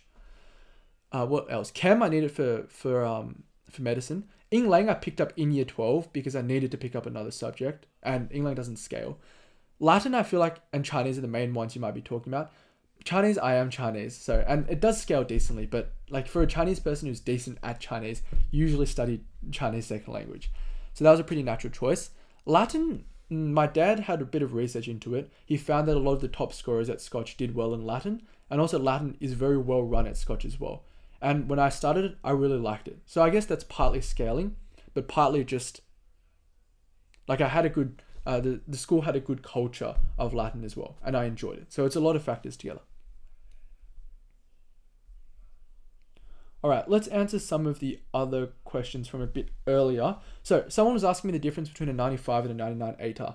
I think that's a pretty big difference. I think the difference between a 99.5 and 99.95 is, is quite huge as well. But yeah, between 95 and 99, it's a lot of things. It's maybe, I think just from the beginning of the year, they might be in kind of different brackets. So one might be, um, you know, close to the dux of the year level, whereas the other is kind of someone who's like, you know, kind of good at the subjects, um, but not really scoring extremely high marks. And also maybe the subjects might be different, but that doesn't make that much of a difference between 95 and 99. Scaling won't help for ATAR points, but I also think hard work is really, really useful as well. So two students who are similar at the start of the year, one can get a 95, one can get a 99, just through hard work, just through consistent work as well. But there is a big gap between those two scores. Okay, big gap in, in not in a negative way, just in like a objective like if you look at the the scaled scores, I think there is a big difference between 95 and 99. All right, another question that was asked was why I make YouTube videos and lives. I started it in the year 12 holidays in January. So once I received my ATAR, January was my first video. I think I just thought YouTube was cool, and that was around the time people like Ali Abdaal were making videos as well, and I thought it was quite nice. And I was like, look, I'll just make a YouTube, I'll make a one on VCE um, because I did well and it's the holidays, and I think it'd be cool to have a YouTube channel. So I just made one, and then it just grew from there. I think I was extremely motivated, particularly in the first year, because I had a lot I wanted to share with you guys. So if you look at my videos, a lot of them were made in my first year of making videos, and they are things like, you know, looking at my past essays, or my advice for Eng Lang, or um, what else was there? Or like language orals. There were a lot of things I wanted to share with you guys that I had in my mind that I had applied to myself in year 12.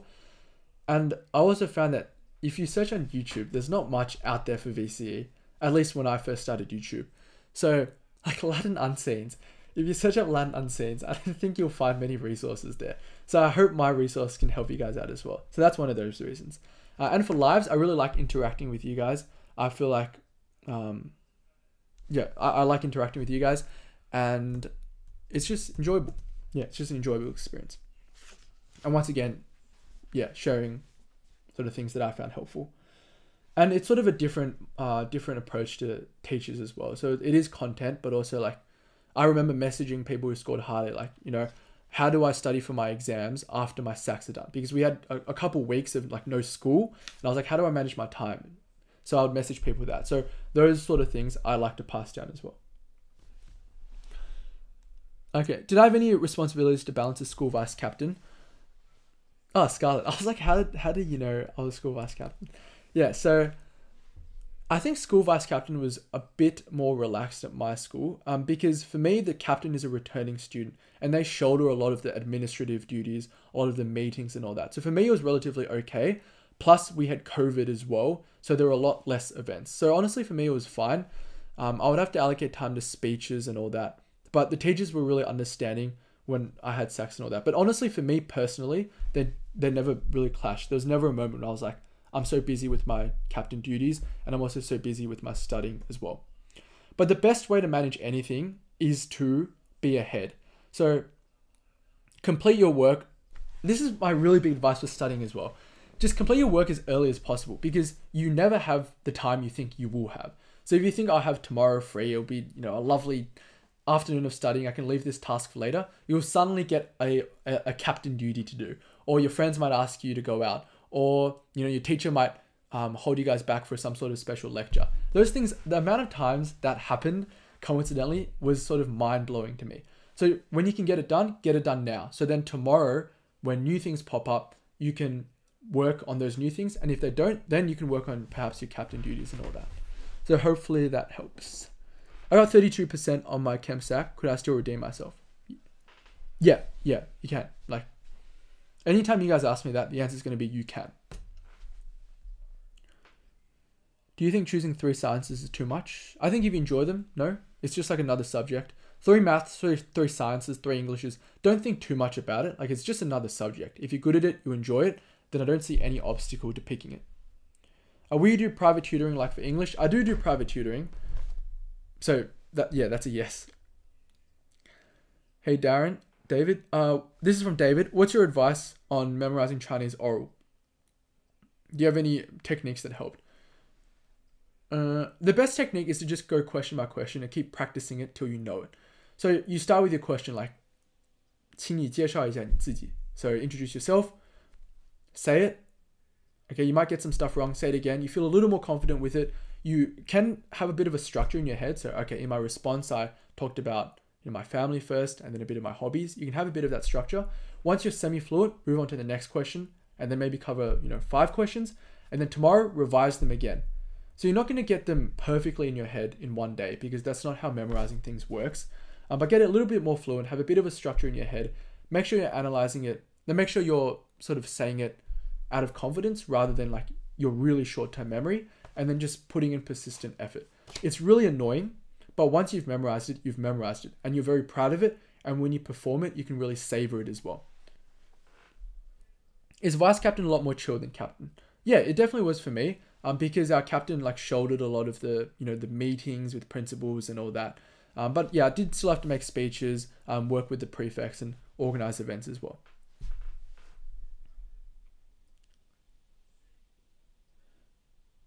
Do you think your Spesh exam two score? I do know. I think I lost like seven, seven marks maybe. You can message me later early as well. Uh, later as well.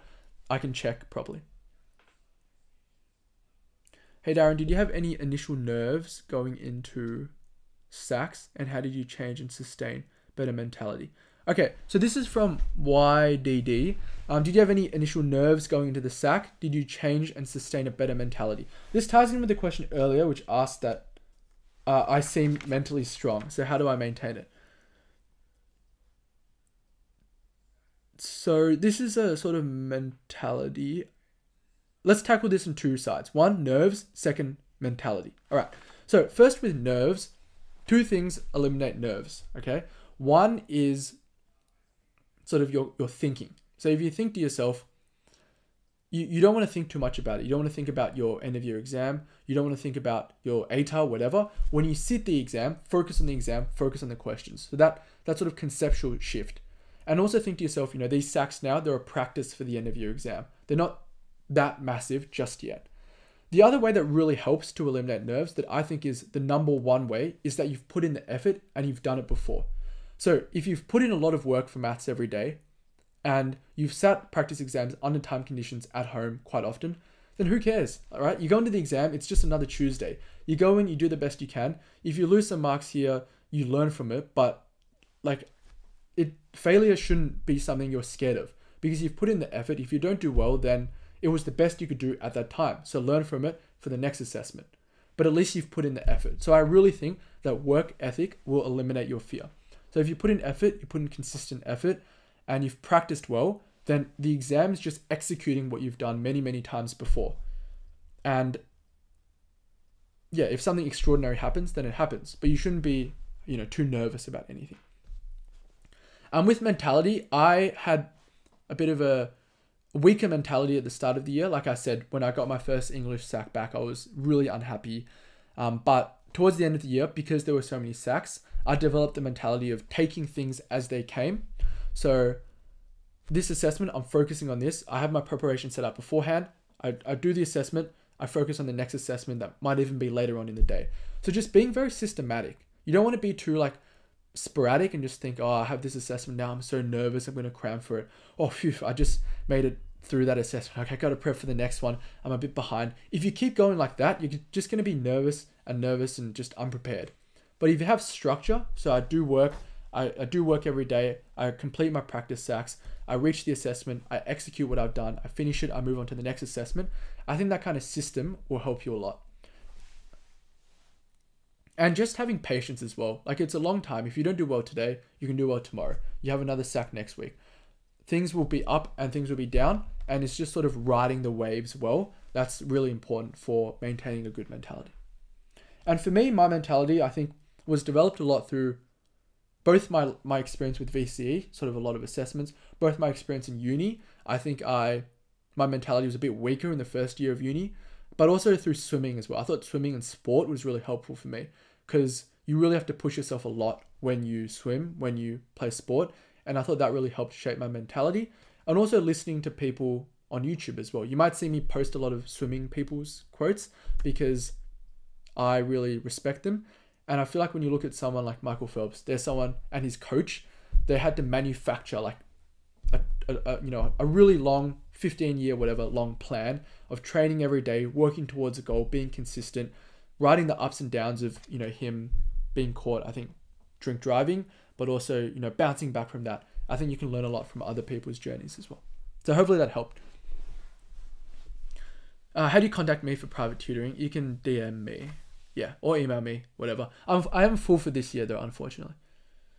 Okay, how many hours of study did you do each day and on what?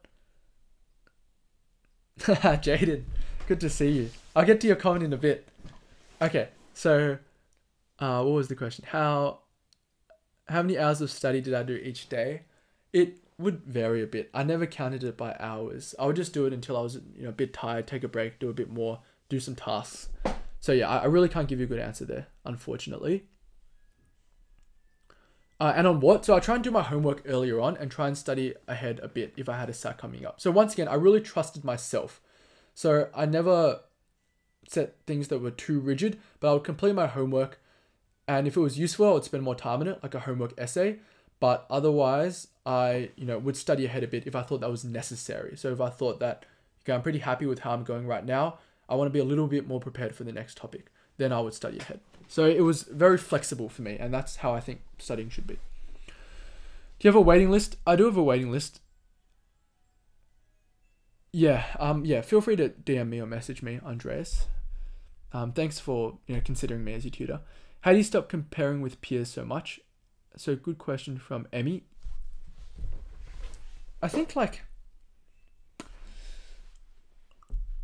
I think it takes time. I don't realize when like it's I feel like it's hard as something that just clicks, but really like who cares? Like maybe me telling you will help you, but them doing well, them doing worse, I don't really care about that. It's got nothing to do with me. It will not affect how I do. I have my own strategies of doing things. I will trust myself, focus on myself, and try and do well in the assessments. And whatever score I get, I will get. You know, they will have different things. You will have people who do really, really well. You will have people who um, do badly. I think just sort of focusing on yourself. And as long as I was working towards my goals, I was happy with that. So I think if if you're someone who like isn't working towards your goals and you see other people doing well, then it can be very demoralizing. But if you're someone who's working towards your goals, then I think in your mind you're like I'm putting in effort towards what I want. So however other people do shouldn't be too relevant um, to you. But yeah, it's not that useful. I know some people seem like they're you know so smart and doing so well, but you know, that's them. You, know, you want to work on yourself. How do you deal with those people who make everything a competition? I mean, let the, let them like. I don't. Like I just I just interact with them if I have to. Like if they, yeah, just I think I don't I don't pay too much attention to them. I don't treat them any differently to someone else in my class. So it's just another person. Yeah, good samurai. That's that's exactly how I would approach it. It's just another person. Treat them how you would a normal person. Yeah, Jaden. When am I coming to Gold Coast?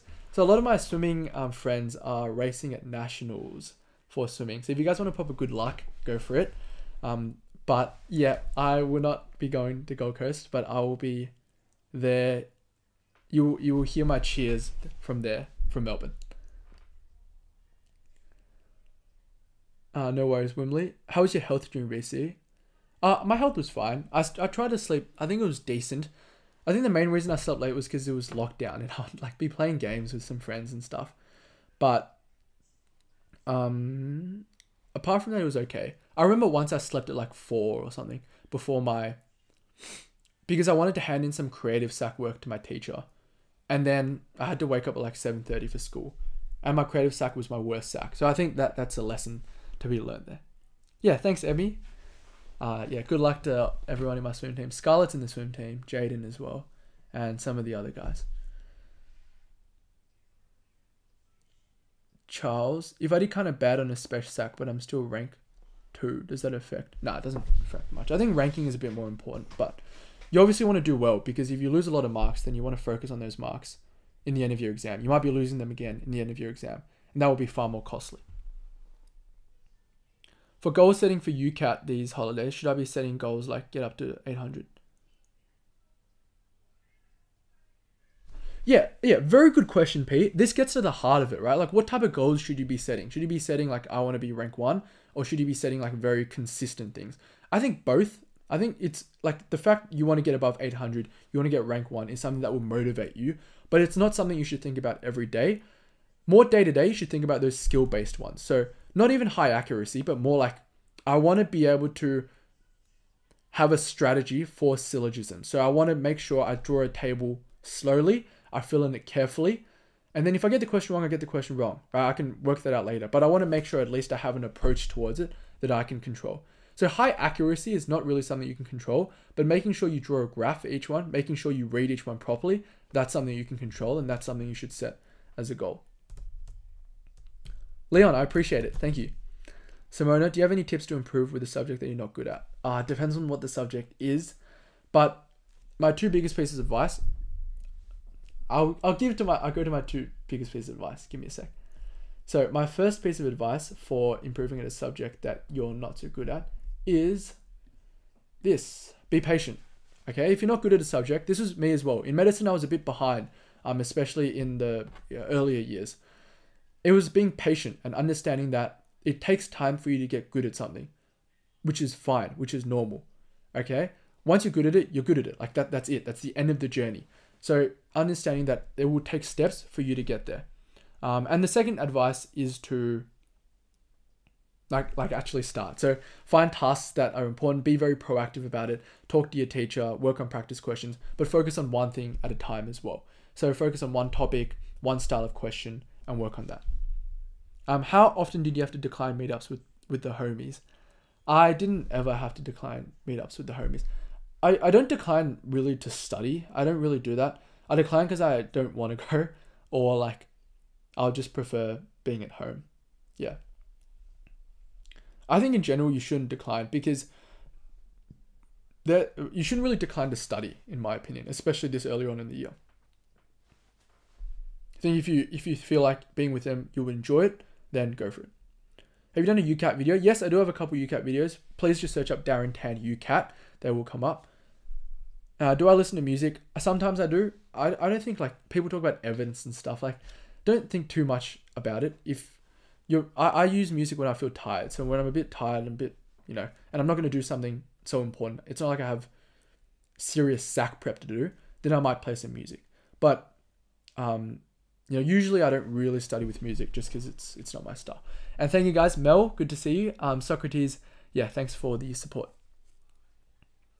Okay, Adrian, when did you start prep for UCAT? I started start of year 12, but I was also because I'm like decently good at my subjects. So UCAT was kind of like something else that kind of tests your intelligence. So when I started, I was doing decently at it, which meant I didn't need as much time.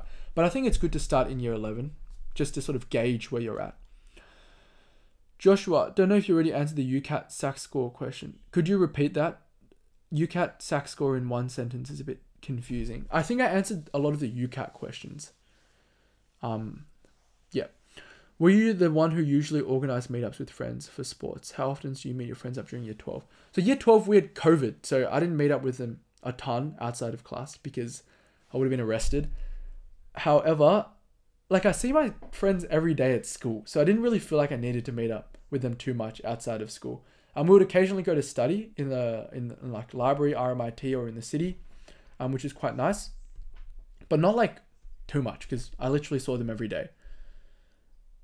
And I wasn't really the one to organize them. I would organize occasionally if I sort of missed them. If I like, do you guys want to go study this time, or do you want to play basketball this time? But yeah, I wasn't the one who usually organized. Chris, thanks for the love heart. Dandelion, yep, thank you. I appreciate it. Yeah, I share quotes. Like a lot of quotes that people say a lot, but if you really think about them, they actually take on many different meanings, which is why I thought it'd be nice to share with you guys. Do you think that doing unlimited, untimed UCAT practice can help develop the skills needed for time practice? Oh yeah, so they do different things, right? So it's just like English essays, handwriting, typed. They do different things. So Emmy, you're very active in this chat. So hopefully you hear my question. What do you think? What What do you think might be different about you doing an untimed UCAT versus a timed UCAT? So what different purposes do you think they might serve? And if you get it wrong, like, or if you have a different interpretation to me, it, it really doesn't matter. Just give you your best shot. I'd be curious to hear what you think. Dandelion, do you do group study? I do group study like if I want to see my friends. But usually I study on my own because I feel like I feel like when I want to see my friends, I want to see my friends. Right? I don't really want to go and study with them. Yeah, I can do most of my studying just at home. Cool. Joshua, did your SAC scores? Oh yes, yes, I remember this question. Okay, my answer to this, I don't know. Yeah, my answer to this was that my UCAT was in the middle of my mid-year holidays. So my SAC scores didn't drop because my UCAT didn't have much overlap with my SAC scores. So yes, I did do a mock every weekend, but you know, that doesn't take that much, doesn't detract too much from my studying. I might, you know, not do one on the weekend if I had a SAC on Monday or whatever. But in the holidays, my UCAT was, my holidays were three weeks, UCAT was in the middle. So week and a half before, focus on UCAT, week and a half after, focus on my SACs, and that's plenty of time and I was on top of my work beforehand as well. So it didn't really require me to, you know, be too too sacrificial with anything. Uh, with tips to prevent this, I think arrange your UCAT time well and also make sure you allocate time for your UCAT each week. And then outside of that time, like if you like for me, I was like, okay, I'm pretty happy if I do a practice mock exam every weekend and I just put in a little bit more practice during the week when I can. I was like, if I do that, pretty happy with it because my first mock particularly I did decently. I think I got like 90 or 91, which is you know enough for uh, for like an interview for medicine. And I was like outside of that, then I can focus on my SACs, whatever. So I think it's really being purposeful with your time, saying to yourself, how much time do I want to allocate to UCAT to be happy with, and then leave that there, keep it discreet, and then spend the other time you know preparing for your SACs and all that. And it shouldn't really sacrifice it too much. Um, an analogy when learning to rollerblade, some people learn by going fast and falling over, while some learn by going slowly and speeding up. Yeah, good. Yeah, yeah, yeah, yeah, yeah. Good, very good analogy. I mean, I really like that analogy. So for me, in, in from my point of view, they, they serve different purposes. So I really liked doing untimed for DM, decision making, because in my mind, I was like, decision making are questions I should definitely get right. I feel like if I got and I had enough time with graphs and stuff, I should be able to figure it out. So it was just a matter of learning how to draw the graphs well, which you can't really do under timed conditions. So I just did that slowly, tried to get them right. Whereas for something like quantitative reasoning, my maths was pretty good. A lot of it was timing and trying to find things quickly. And so I would do a bit more time practice for that. But generally, like sort of untimed is just developing my strategies, getting things right. Timed was to practice doing it under pressure but I would also try and review my mistaken questions afterwards as well. So it was kind of like timed practice followed by untimed review, if that makes sense. I became more competitive after tennis. Yeah, very good, Samuel. How did sports have an impact on mentality and sense of personal achievement? Yeah, yeah, yeah, good. I think sports are brilliant. Um, for me in swimming, each time you swim, you're like, it is a near death experience, especially if you really push yourself and you have a hard set. I think for things like running and, and swimming and even other sports as well, but particularly ones where like you have, you know, you need to swim a certain distance in a certain time, you need to be pushed really, really hard. And each time I had to focus on what was coming. So if I had to do 100 meters 10 times on a time cycle that I thought was pretty hard, I wouldn't be thinking, oh wow, there's 10 of them. I would be thinking, get through this one, focus on my stroke, focus on, you know, breathing well, and then focus on the next one and take on each one as it comes. And then my body would be in pain, but I would try not to focus on that. So I think that sort of toughness will helped a lot. And also, if you just put yourself in difficult situations a lot, then when you study, you're much easier to be focused to sort of appreciate it. And yeah, so like I, I feel like you guys would probably relate as well. So if you probably had, if you've done VCE and then I give you like, you know, a, a couple multiplication tests, you're gonna find it a lot easier. So if you put yourself in stressful situations often, then they become, you become more acclimated to them, and you you sort of develop strategies uh, with them. So yeah, tennis is good, Samuel. Uh, dandelion, yeah, yeah, that's a good interpretation, similar to mine. And Mildus's question Should you consider the salary of your profession? If yes, why not just work towards a business instead of working full time for someone else? That's a very interesting question. So, yeah, you should definitely consider the salary of your profession. Um, but you do remember, like, if you want to do well in, I think you can do well in any profession, particularly with the the way it is now. Like TikTok, you have people like making pizza and recording themselves, and that becoming like, I I think like millions of dollar kind of business. But if you don't like it, you're not going to get very good at it. You're going to hate every day and it's not going to be very useful. And I think it's a very holistic approach. You need to look at the salary, but generally like most occupations will don't vary too much in salary in terms of like you can live off it. Um, so I think your personal preference is important as well, what you like, and also what your personality you think is suited towards. But also like just trying different things and seeing works what works for you as well. Um, Ari, what's your opinion on prioritizing subjects depending on what you predict to be in the top four? I didn't prioritize until the end of the year. I don't think it's very clear. Um, uh, yeah. I think you should work hard at all your subjects because generally it's not too clear what your top four will be. And also, I think when you start sacrificing things, you become less efficient with your studying. So you say to myself, oh, I can sacrifice this because I have so much time on this particular subject. But then like I said, the dilemma with so much time is that a lot of it may be wasted and you've neglected that subject. And also, when you do badly in some subjects, I feel like it has a ripple effect because you just feel bad. You feel behind. You feel like you're not doing as well. And you sort of comfort yourself with the fact that, oh, I'm going to do well in this other subject. But I don't think that's a good mentality to have. So I think generally you want a pretty balanced approach um, up until, you know, unless you have SACs really clustered together or the end of your exams. Um, I've been struggling because I had four SACs the past two weeks and literally did zero UCAT. Yeah, that that's fine. Like, if you've been busy and you've honestly spent your time well and you haven't been able to do UCAT, that's okay. Right? Not doing too much UCAT this early on in the year is not going to cost you too much. Do I make notes online or offline? I haven't really heard people say make notes offline as a term, um, but I usually make online because it's easier to refer to and look at. But now in medicine, like I take, because in hospital, it's a bit weird if I carry an iPad around. So a lot of my notes are just written on paper. Reflection is important. Good, Dandelion. Uh, I'm going to bed now. Yes, yes, go to bed. I will end the live fairly soon, I think, because it is getting late. Um, but yeah, thanks for your you know participation, Emmy. It was good having you. Uh, Thomas, did you do accidence and syntax? Not not accidence and syntax. I think we were more asked like principal parts. Um, what else was there? Uh, mood, gender, no, mood tense voice, um, number gender case. We weren't really, we didn't really do too much accidence and syntax. Uh, samurai and feel like a dandelion. I see myself out. Yes, sure. See you later, samurai. Thanks for participating, and you had some really good questions. And P, how should you go about reflecting on past SACs from term one?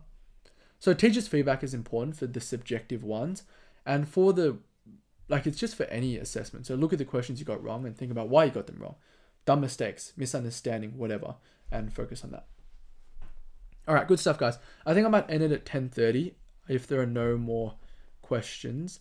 Thank you for joining, and I hope you guys found this live useful. And also, if you have any ideas for future lives, message me. Um, leave a comment under the YouTube channel. Also, make sure to enjoy your holidays as well. So I'll give a, a couple more minutes, but otherwise, I will end the live. How am I finding uni as a whole? I did not enjoy it more than high school for the first, like, I think it's different. First two years, I definitely didn't enjoy as much as high school. Third year, I, it's different and it's similarly enjoyable, I would say, to high school. It's just a different type of enjoyment. Um, because medicine, it's a very much more clustered field, as in like everyone's like doctor or studying med. Whereas high school, it's much more diverse. I like that aspect, but also like you know, I want to study medicine, so it's like I enjoy it as well. But first two years of uni, I did not enjoy as much as high school. Yeah, no worries, no worries. Ah, thanks for all the thank yous, guys. I appreciate it. Um, Ari, the SACs my chem teacher set are completely different to the exam. What do I do? Well, you have to do well in the SACs, right? So focus on those, but also make sure you supplement yourself with a lot of topic tests and exams. So my plan with the lives are to have them weekly. So hopefully next week, unless something extraordinary happens.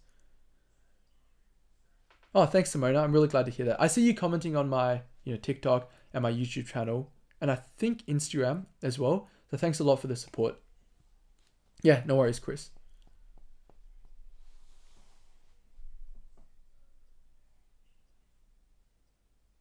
That's all right, Thomas.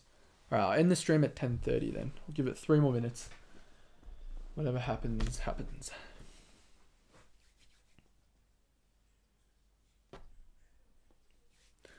Yasaru, hope I'm pronouncing your name right.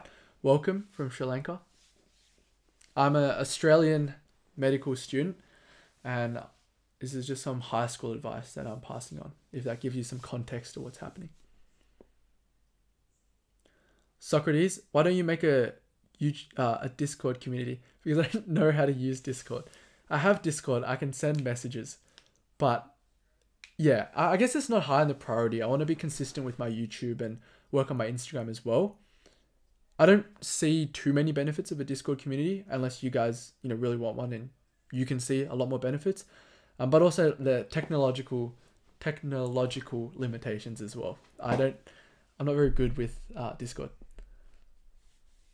Okay, all right. If it's seconded, I'll consider it. I'll try and figure out something. I think you need like you need like mods and servers and yeah, I will need to research into it.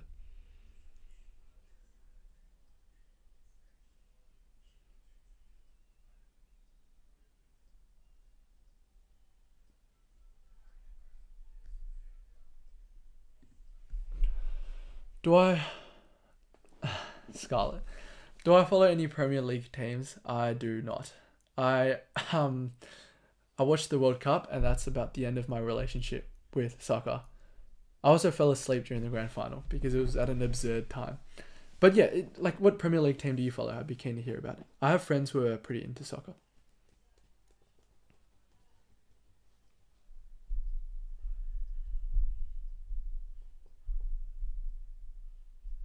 Okay. And when it's 1029, I get like four questions. All right, let's answer these. Uh, what's your motivation for YouTube? I mentioned it earlier. I think I just started it with not like some grandiose ambition. I wasn't like, I'm going to change the world, I'm going to change the lives of people, whatever. I just thought, you know, I really want to make a YouTube channel. It's pretty cool. I have knowledge I want to share. And I just feel like it'd be nice sort of having my own little YouTube channel and sharing advice there. And from there, it's kind of grew. I've enjoyed it more. I like sharing information. I just had a lot I wanted to talk about as well. And I enjoy sort of lives and interactions like these. So that would probably be my motivation. Tips for high marks for Spesh. Uh, know the content well, do practice questions, and review your mistakes like thoroughly. So not just, okay, I got this wrong because I misread the question. I got it wrong. I misread this word because I thought it was this, because they're similar due to this, and I'm going to avoid it next time by doing this. So hopefully that helps. Watch any anime? Not for a while. I've been reading. What was I reading? I read Lookism. There is an anime out for that, I think. And in terms of other manga, uh, Kengan Omega. I used to watch. What did I watch? I like Slam Dunk, but that was a while ago. I don't remember the last time I watched an anime actually. But yeah, I, I do like watch anime. Do you have any recommendations, Mildus? Uh, can you f- fix my graphic designing? Sure, you can DM me, message me. I am working on my graphic designing, but if you have suggestions, very good to hear. Spurs. I thought you asked Premier League team. I thought isn't that an NBA team? Uh, it's his profile pic. Yeah, Lookism is my profile pic. Uh, uh, tips to do well in English methods. Okay. Uh, in short, English, receive feedback until you're getting the marks you want. Read your text carefully, analyze well. Um, for methods, I also use like simple language for English, like straightforward sentence structures that are easy to understand. Methods, like I said with the spesh, know the content well, do practice questions, review your mistakes. Have I watched The Last Dance? Yes, I have. It was nice to watch. I watched not all the episodes, I think, parts of it. But yeah, I think it's nice. It's pretty cool to see. Like I said, Michael Jordan is someone whose work ethic and mentality I sort of admire and take inspiration from. So that was nice. Yeah, how'd you find it? Oh, Steins Gate. I've heard of that. I that's on the to watch list actually. When I have a bit of time, I I will you know have a look at it. Um, no worries, William. Good night. Um, Chris. Oh, Tottenham. Oh, Spurs. Okay. Whoops. Okay. that shows my soccer knowledge. But yes, that's good to hear. Okay, might be boring. I'll keep that in mind. All right, thank you very much, guys, for tuning in to the live stream. I think I'll call it there for tonight. Um, enjoy your nights, have a good holiday, and yeah, just enjoy your weeks and set aside time for studying, but also time for whatever else you want to do. See you guys later.